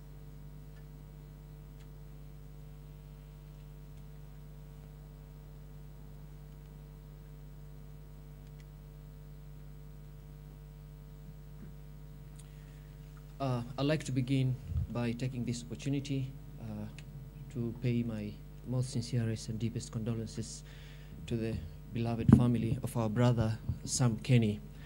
This is my first ever memorial uh, to attend and to talk, and uh, it isn't by coincidence because this is a God's way, uh, God's way of telling us uh, to value and give back to the people who've given their lives to us. And Sam Keni, when I first joined the BBC in 2015 in April, uh, he set up for me the password for the computer, and of course, it's part of his. Uh, it was part of his duties, but it was more than setting up uh, the user logins. Uh, my colleagues at the BBC uh, who are familiar with that know that it is uh, a normal process.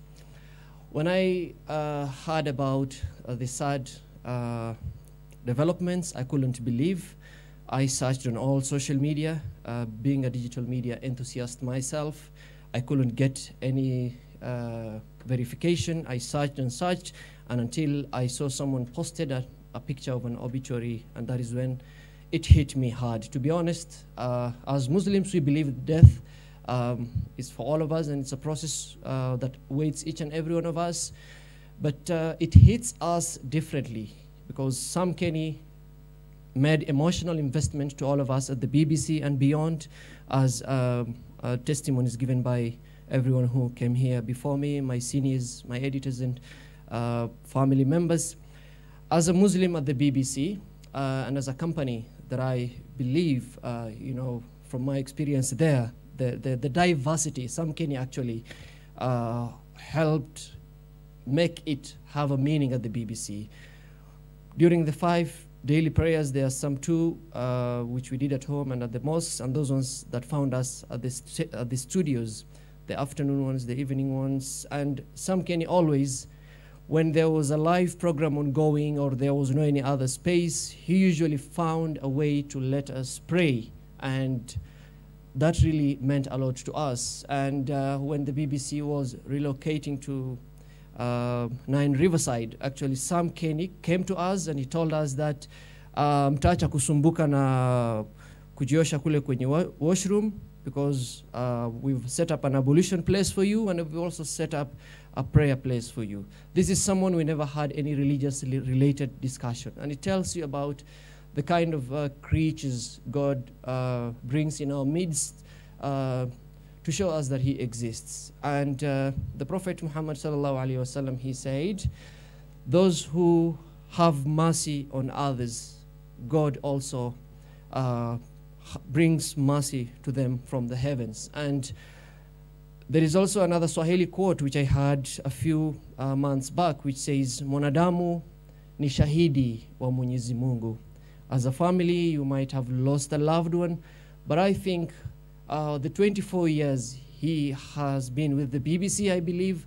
That is enough to tell you that he was more than just a son, he was more than just a brother, and he continues to live amongst us. On behalf of my Muslim colleagues at the BBC from every part of the world and all the other language services, I would like to tell you that uh, uh, he was our brother, he was one of our own, and just to know that uh, you have contributed uh, to this world by giving us a son that who shall continue uh, to be remembered for the goodness he left amongst us. Sorry for this, uh, because of time, uh, allow me uh, to share our last, not uh, wasn't supposed to be our last conversation, but it, God has his way. So when I, I wouldn't, I wouldn't have loved to use the word left, but I will say when I had gone to pursue my studies from the BBC in 2017, I wrote uh, Sam Keni a message uh, from WhatsApp. I told him, my antivirus expires in two days. I have been trying to renew from Turkey, but they deny cause of location. I have my Visa card. Is it okay to share the link for renewal and card details later so that you can help me renew? He texted me back and he said, starting with my name, Abdinur, just uninstall that software. Get a free antivirus. AVG should work okay. So I would really like to thank him for that. And uh, sorry, as, an, as a sports enthusiast myself, and uh, on Sundays I used to be on duty because of the BBC uh, Swahili. We used to have a sports evening edition. So we followed, I'm an Arsenal fan myself, and we used to follow those games. So, and that is an off day for Sam Keni, but we will call him and tell him, Bwana San, ile, ile, Bwana Sam, ile channel, they've put something else on that channel. What do we do? We have flicked through, but we cannot get to watch the games. So, and of course, at that time, I don't know why we couldn't imagine live streaming. Maybe it wasn't yet open. So Sam will come back to the office with his slippers and his uh, short trouser and his khaki shirt, and he will set it up for us. Many before me have spoken about the goodness. Some have uh, witnessed and continue to live that testimony. I wouldn't love to say more because I believe uh, his actions have left a lot in us. And uh, as my brother preceding me had earlier said, we shall continue to mirror his actions and his personality amongst us. May Allah rest his soul in peace and uh, give us strength and comfort to live and continue his legacy. Shukran. Thank you very much. Let me just read something uh, from uh, Abdul Salam uh, from Lagos, and want to say thank you very much to every for the people who have tuned in and they're watching us via the YouTube channel. Uh, we know that you're with us, and um, he says, "You are a person everyone wanted to reckon with. You were so beautiful inside out. Death snatched you from us." uh, helplessly. I remember my first day in Nairobi, I sat on his special seat. When he walked in, um, he was like, Who is this dude who has sat? Who, who, who is on my seat? And I said, It's a dude from Nigeria. He kicked me in a funny way and said something in Swahili. And I asked him what he said. He, say, um, he just said, he said, Asante. And then he laughed. We all know that is a lie. I can't remember what he said. Goodbye, dear friend. Goodbye, my mentor, Abdul Salam from BBC Abuja. Let's have Yvonne.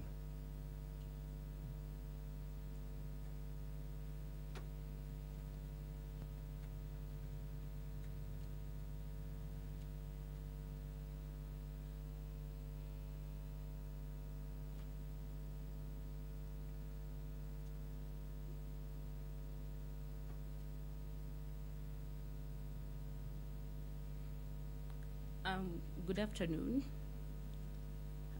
I am Yvonne Mwasia. I met Sam uh, uh, when I joined the BBC three months later. Had made an error on this on the on our shared drive where I had deleted something, and I thought it is something I can just retrieve from the recycled bin.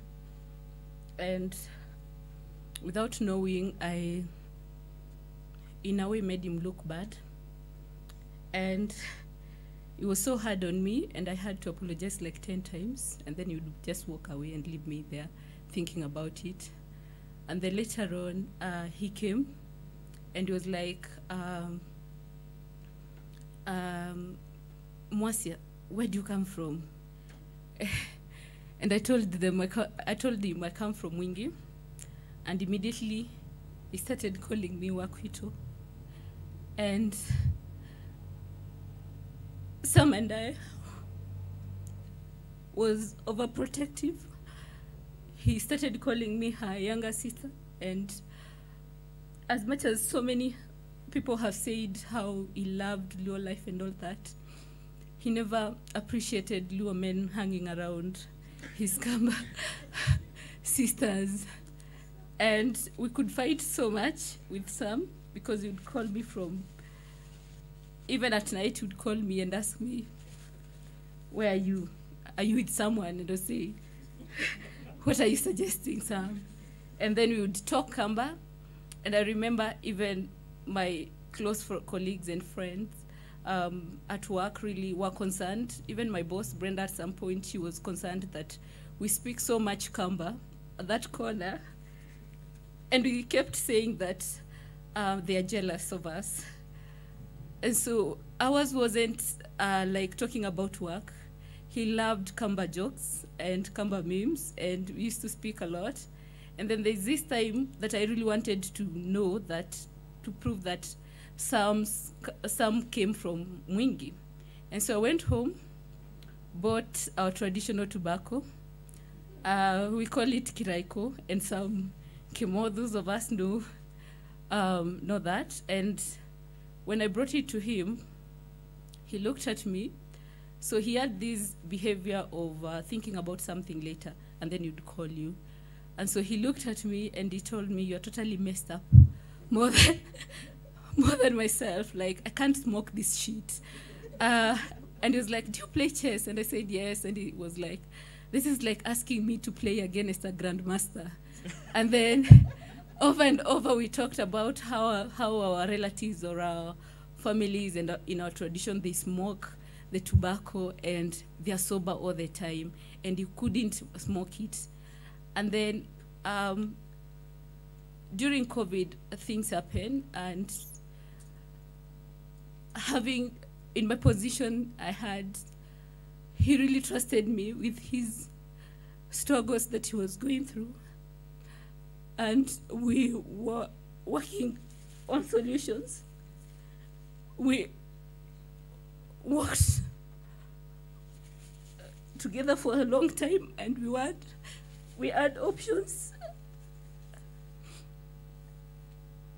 And somehow I didn't know.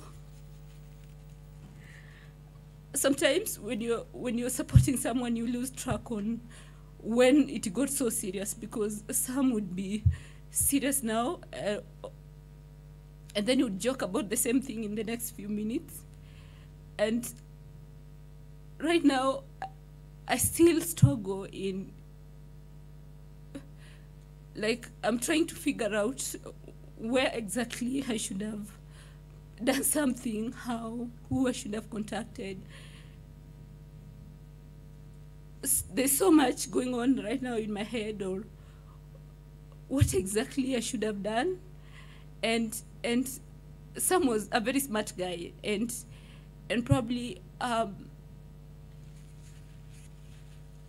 whatever happened should have been the last thing for all the brain that he had, all the solutions he had, and I just, I just, I'm just so sad at the moment, and I feel somehow the same way we on earth um, feel the presence of those of us that have left us. I just hope that he feels the love, he feels somehow wherever he is, that we still support him and uh, until I get clarity, clarity of thoughts, I, I, I really I am struggling to understand what ex- exactly, as somebody who he really talked and allowed me because it was really hard for Sam, even though he was telling you like some stuff, it was really hard for Sam to open up about himself and what he was going through. And so I pray that somehow we find peace in knowing that we had a good time with Sam and he's still somehow, his knowledge is still with us and he's still somehow looking at us and wondering what are you guys doing or what is wrong with your computer or I just pray that at some stage I get sort of a form of closure or um, a feeling that I did something. But until then, I pray for God's grace to walk with me because we have to wake up every day and still live a life of seeing Sam, seeing him talking Kamba along, sharing Kamba memes and all that. And I pray that uh, we walk out of here knowing that Sam really appreciated everybody who checked on him, even though because of his pride as well. He was so proud, and I, I still remember one time he made me buy a very expensive shoes, and he told me, "You're not my girlfriend, so I can't spend my money on you." And then he walked me to a very expensive shop, and he told me, "You have to buy this shoe, and you're going to wear it, and you're going to buy. The BBC pays you enough to take care of yourself." And so those are the memories that I will live with, and may his soul rest in peace.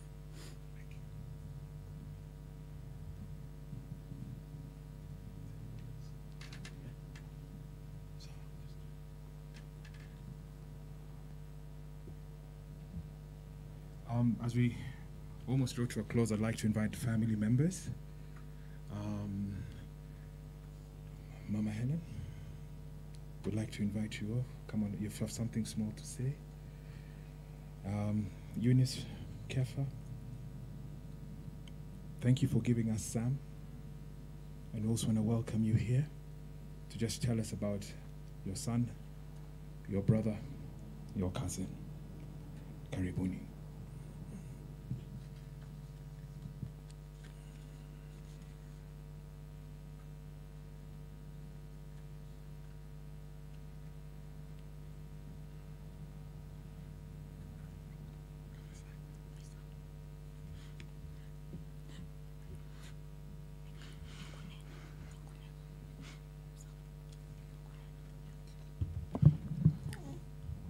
Good afternoon. My Catherine Kanini. Sam was my cousin. I'm going to do mom's tribute. Helen Keni. Sam was my last born child. I named him after my father. I always called him dad. As a young child, Sam was very talkative, entertaining, and funny. Whenever he was in the house, there was life and laughter. Sam was reliable and responsible and always made sure that I was well taken care of. I thank Jehovah for giving me such a wonderful, loving son and loving son, and I will always treasure and remember him in my heart. Asanteni sana.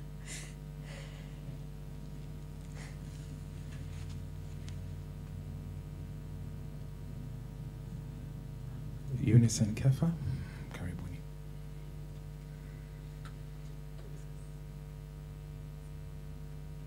El- Elizabeth. Sorry, Elizabeth. Elizabeth, sorry.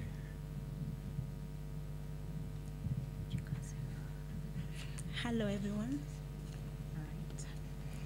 I'll also read the tribute for Sam's sister, Elizabeth Mikali Keni. Sam was my brother and friend. We were brought up together as a closely knit family where we shared a lot of things. We had a lovely teenage period. Sam was very caring and protective of me and his sister, and his brother, sorry. He used to be afraid of being beaten or disciplined and would do anything to avoid punishment. He was very generous, always willing and ready to do anything for his mother as well as for the rest of the family.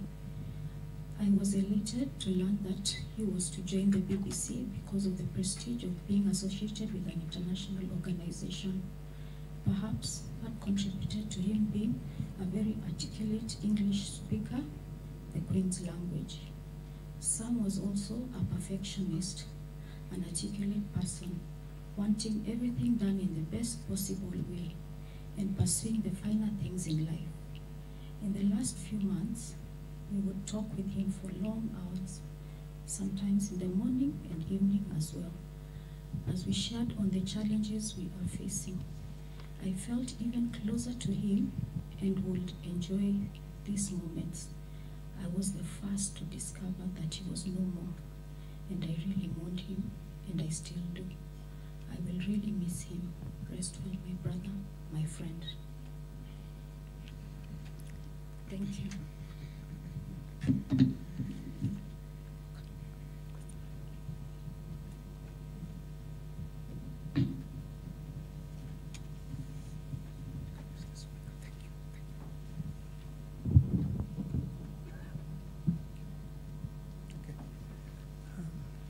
Okay.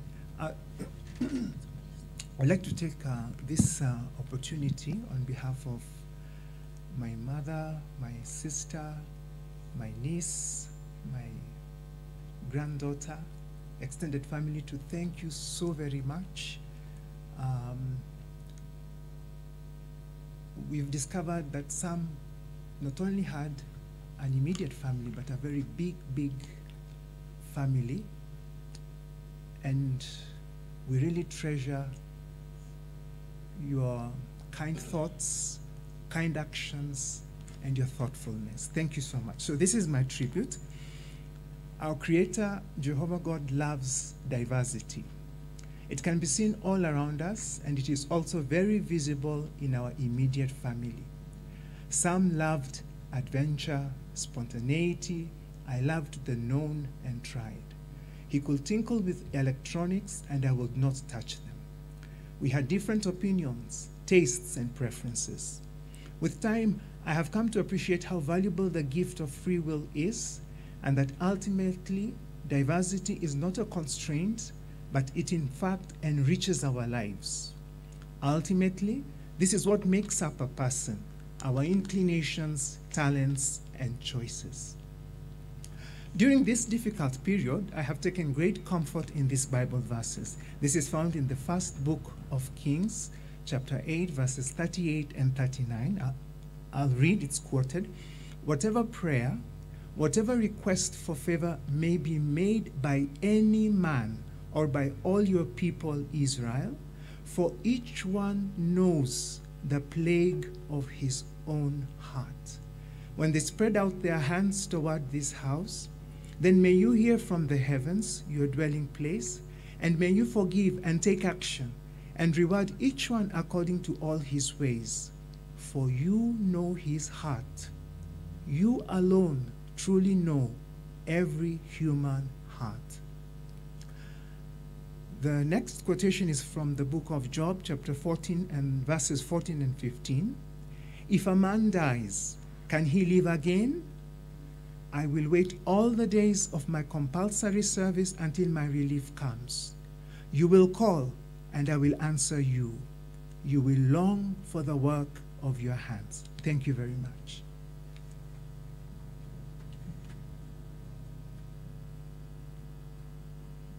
Um, I'd like to invite Sam's niece, and I'd also ask um, the cousins, who's, whoever's also reading for the cousins to, to get ready. Thank you.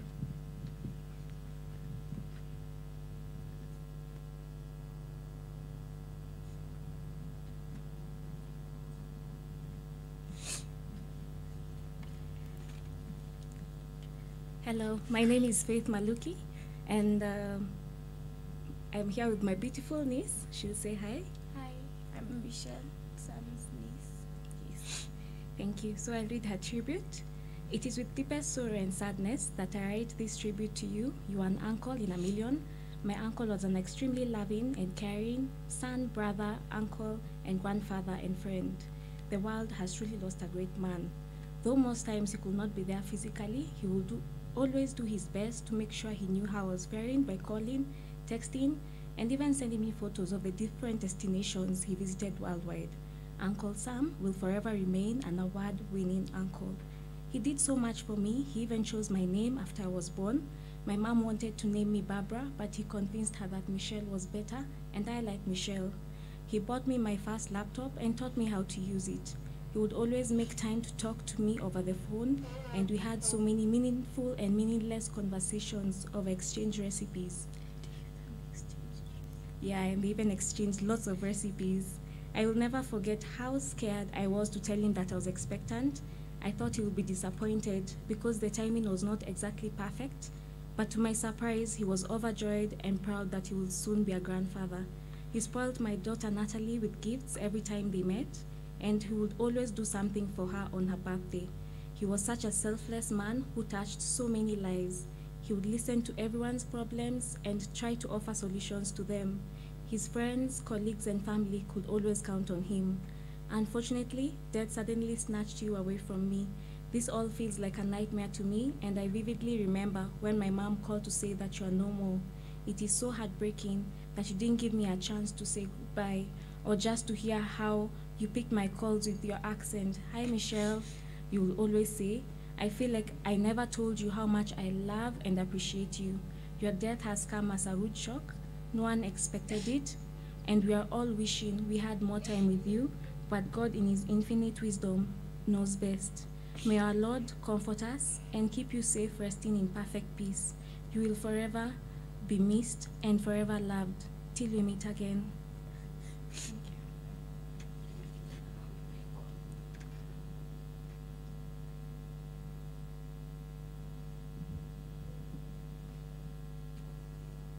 Uh, good afternoon.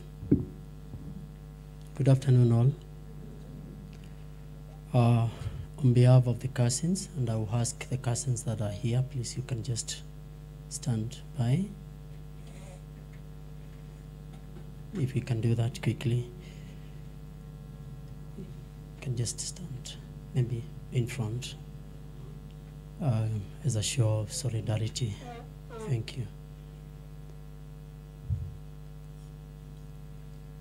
Um, it's very hard to describe Sam as a cousin after many of us have talked from the family, colleagues, friends, and such.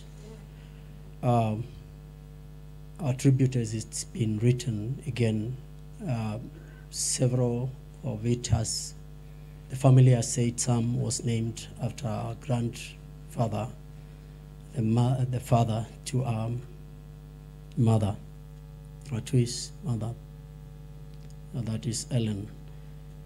And uh, the late Samson Kalundu was just some that probably most of you experienced by way of neatness.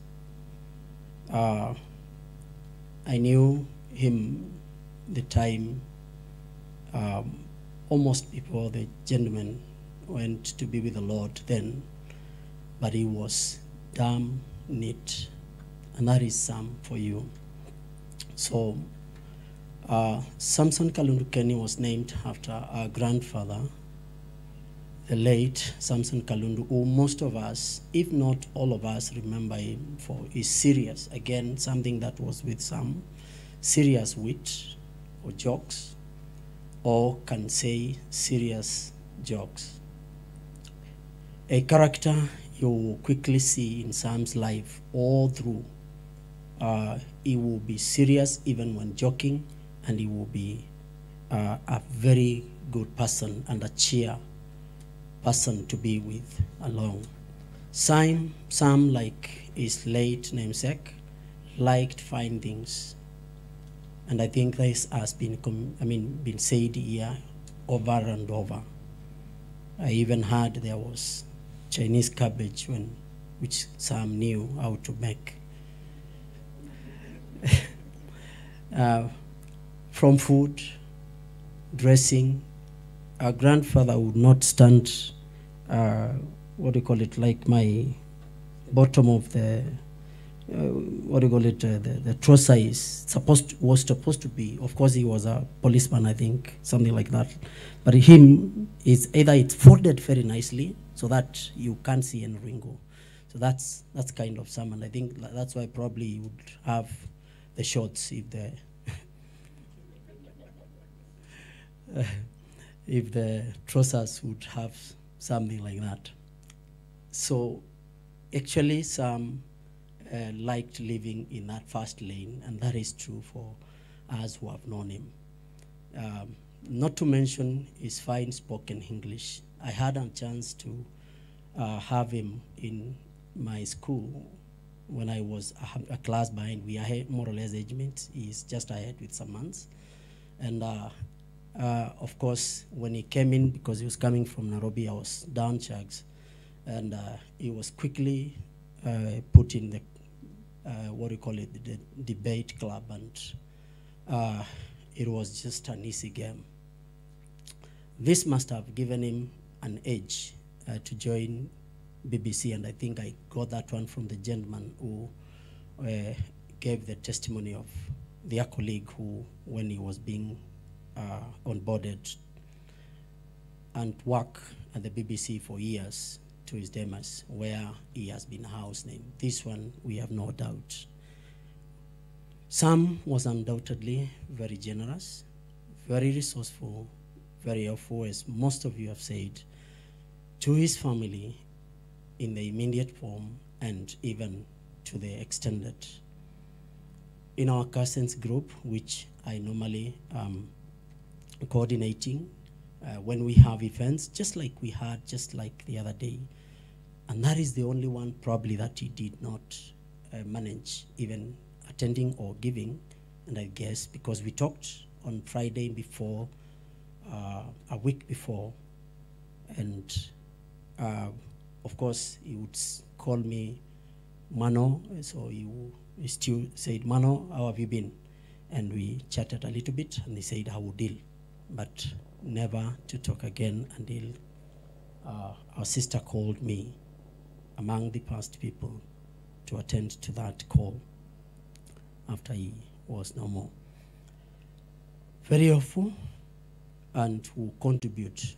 Most of the cousins, nieces, because of his nature of work, probably some of us, some of them he had not met, but he would participate even over and above any other person who was in that group. Um, something that was and has been said here, and that probably would be because of his nature of working away, uh, he would do his part quickly. Having been born and raised in Nairobi, the bright or brilliant Sam, and that is a characteristic that probably the men that have been called Samson Kalundu, I have a few here, the man who read the eulogy, uh, my brother who is elder, either they are engineers or scientists, most of them in our family. And I think that is something that is, I probably we can see.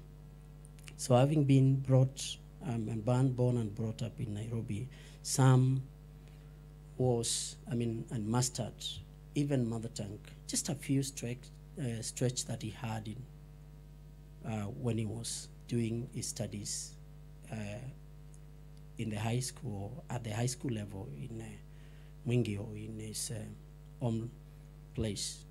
And that is what he would engage us all through, not the language of Nairobi or even any other, or even the English that he would, he would engage us than that. Like myself, I think we rarely, when we bumped one another, even uh, a, a few, it's very coincidental that the last two meetings we had, myself and him, were the last one in Dar es Salaam when I was jetting in, I mean back here, and then he was just coming in and saying, Mano, uh, where you gotta go and something. I mean, like, what are you doing here and such. And we engaged and left him. Apparently, again, we bumped when I was off to Mombasa, and then he's again in JKI going somewhere. So some similarly, uh, that is something that he really because he quite grasped and grasps those words that uh, some of you mentioned here.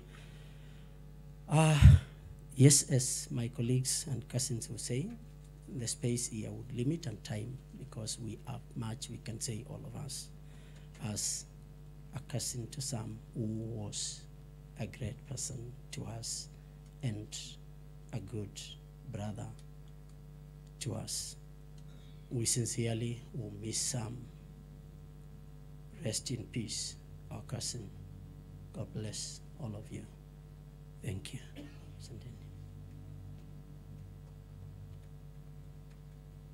All right. We've come to the end of uh, this memorial service. Um, I just want to say something uh, before we finish up. For me and uh, Faith, uh, I would call them the three musketeers. One of them was called Mr. Universe. Mr. Universe is Anthony. Because this guy comes with no food and believes that he will eat. I don't know how that works. So Universe conspires to give him lunch. So that's why he ended up being called Mr. Universe. And then, of course, there was a beautiful uh, Faith, and then now Sam. And this is very weird. Me and Faith, we used to call him Babe. I know, yeah. And so when I, um, he, you know, in the recent past, he's been on and off the office. So whenever I would walk in uh, into the studio, I mean, it's just a few blocks, a few steps away from him. If I don't see him, then I, and probably Faith is in there, so I'd knock and force to want to get in. Okay, they have a card thing that you have to activate, and of course we don't have. It's only the engineers who can activate the room.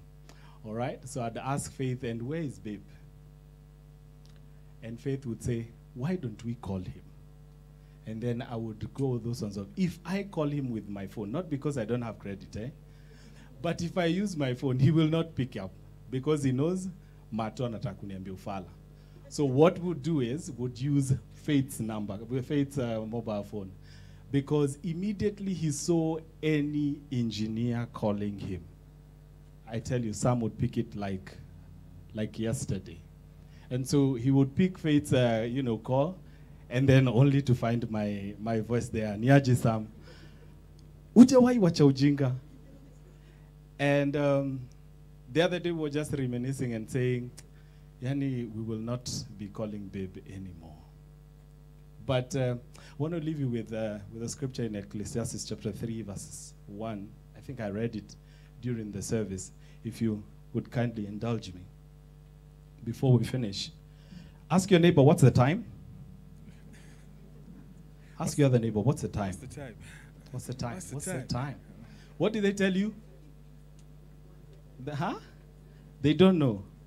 All right, so Ecclesiastes says there's a time for everything, a season for every activity under heaven, a time to be born and a time to die, a time to plant and a time to uproot, a time to kill and a time to heal, a time to tear down and build and a time to build, a time to weep and a time to laugh, a time to mourn and a time to dance, a time to scatter stones and a time to gather them, a time to embrace and a time to refrain from embracing, a time to search and a time to grow up, a time to keep and a time to throw away, a time to tear and a time to mend, a time to be silent and a time to speak, a time to love and a time to hate. I don't know what that time is. A time to war and a time for peace. This was a time for Sam to say goodbye to us. And so, everyone here, I, I pray that you will find it in your hearts to also say bye bye to him because it was his time. Kevin. Thank you all for being with us this morning as we remember and celebrate Sam. Strength and grace and peace to you all. I will close with um, the blessing that I read at the beginning. And please take courage and strength in this. May the sun bring you energy every day, bringing light into the darkness of your soul. May the moon softly restore you by light bathing you in the glow of restful sleep and peaceful dreams. May the rain wash away your worries and cleanse the, the hurt that sits in your heart. May the breeze blow new strength into your, into your being, and may you believe in the courage of yourself. May you walk gently through the world, keeping Sam with you always, knowing that he will always be part of your beating heart. Asanteni. All right. Kindly, we have we have uh, tea and uh, snacks that have been prepared for all of us. And so you will find a tent uh, right behind there, and that will be uh, good. Uh, let's have Samuel Morunga. Samuel, please. Vote of thanks and our closing prayer.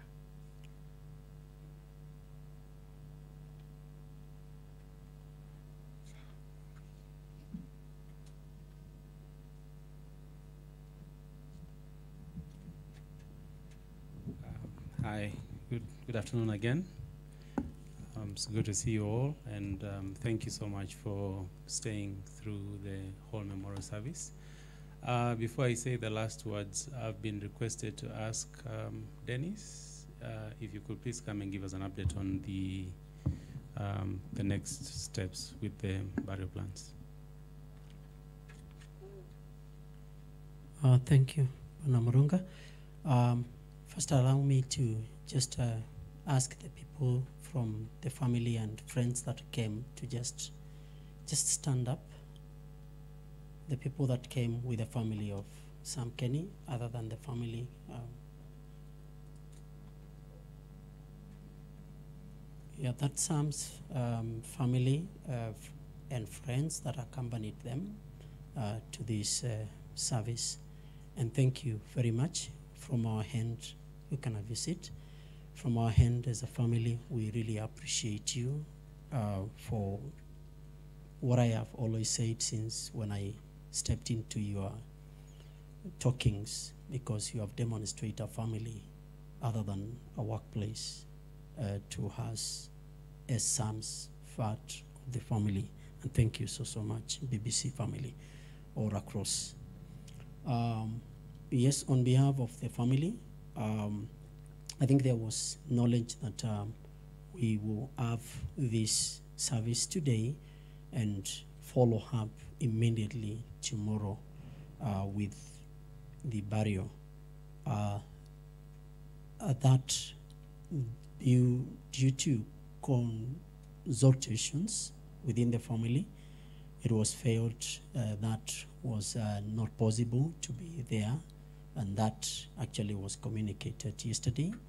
Um, because as at Friday, there were a few consultations that were there, and then they felt they had a meeting yesterday, and they said um, the family at home and the family um, down here in Mwingi and the family down in Nairobi have a common um, one-on-one. And from the meeting that was there, it was said probably by close of today or close of tomorrow, we will get the new date, which will be communicated to all of you. Uh, we have your liaison team, and uh, again, we actually thank you for being there for the family. I think every day we have had a couple, or if not most of you, around. I think I am now uh, able to know most of you. Some of them that I knew as I was teaching them that were there, I only knew a few names. Like I don't know why they have big names. Salim Kikeke, Jamhuri Mwavyombo, Rambo. Anyway, yeah. So that is where we were. Uh, with due respect, so allow the family to communicate to us, all of us, probably as it is being uh, changed.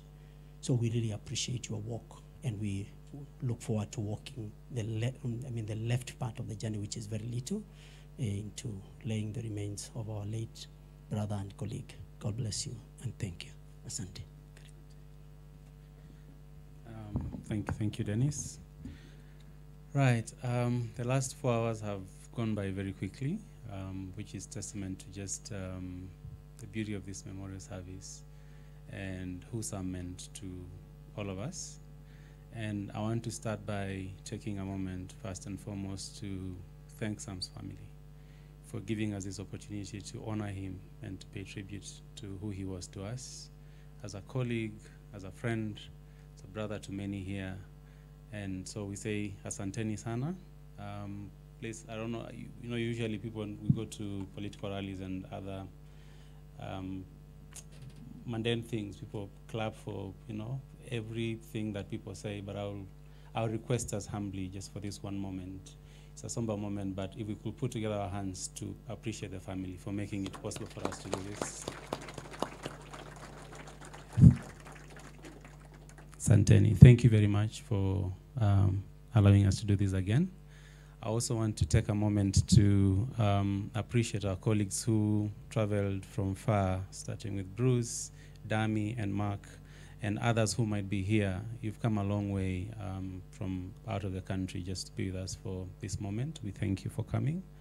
I want to thank uh, the BBC colleagues, the team who um, have burned the midnight oil, um, staying overnight. Uh, we've had guys who did um, unofficial works here just to make sure that um, all the plans were in place so that we could have this moment. But beyond that, to support the family, those of um, us who've been to the home in um, Great Wall and who have reached out to the family and friends in other ways also. Thank you so much for doing that. I also want to say thank you to colleagues and friends um, who are here. You might not have spoken, but you've shared your message, whether it's on the Kudo board, on the WhatsApp group, and in any other way, um, just so that you could um, remember Sam or also reach out to others who are hurting in this moment to comfort them. Thank you for doing that. Um, also, um, lastly, but in no way least, um, Sam's team. Uh, you've all been here for many days, but also for today. It's been a seamless production. I'll, I'll, I'll put that in quotes, but it's gone great. And thank you so much for making it possible.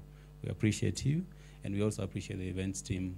As um, Ken and Martin said, we have a tent right outside um, in, in front of me or behind you where you have some refreshments. Please, um, if you have a moment before you rush out, get something to re-energize yourself for the journey. Um, we have washrooms on my right. There's a gents. The first one is a gents, and then I think there's another one for the ladies um, if you need to um, then visit those as well. I want to finish by um, saying that, as, as Dennis has said, it's the journey is ongoing, but we are, we are coming close with um, Sam's last journey. Let's stay with the family. Let's let's keep on supporting them. Let's keep on supporting Sam's friends, colleagues who work with him closely, but also the rest of us as a big BBC family. Let's continue supporting each other um, and stand with with um, with the family to the end. Um, I will say, I'll, if you allow me, we'll say a prayer, and then we'll we'll, we'll be free to have some refreshments and leave at our pleasure. Thank you. Um, let's pray. Almighty God, we thank you for this afternoon. We are grateful for this moment that we've had to honor our colleague Sam, um, who's um, son, sibling, um, uncle, um, grandparent, father, um, to some within the family, but generally to all of us as a friend and a colleague. And we thank you for this moment. We thank you that everything has gone well. We commit what is remaining, um, the last bit of his final journey into your hands. We pray that you'll be with the family, you strengthen and comfort them, you'll provide everything that is needed, that you'll give us the strength, the resilience to see to the end. We pray that even as we live here, you'll go with each of us, you'll grant us strength and grace, um, and you'll keep us safe until we see each other again. In the almighty name of God, we pray and believe. Amen. Santeni.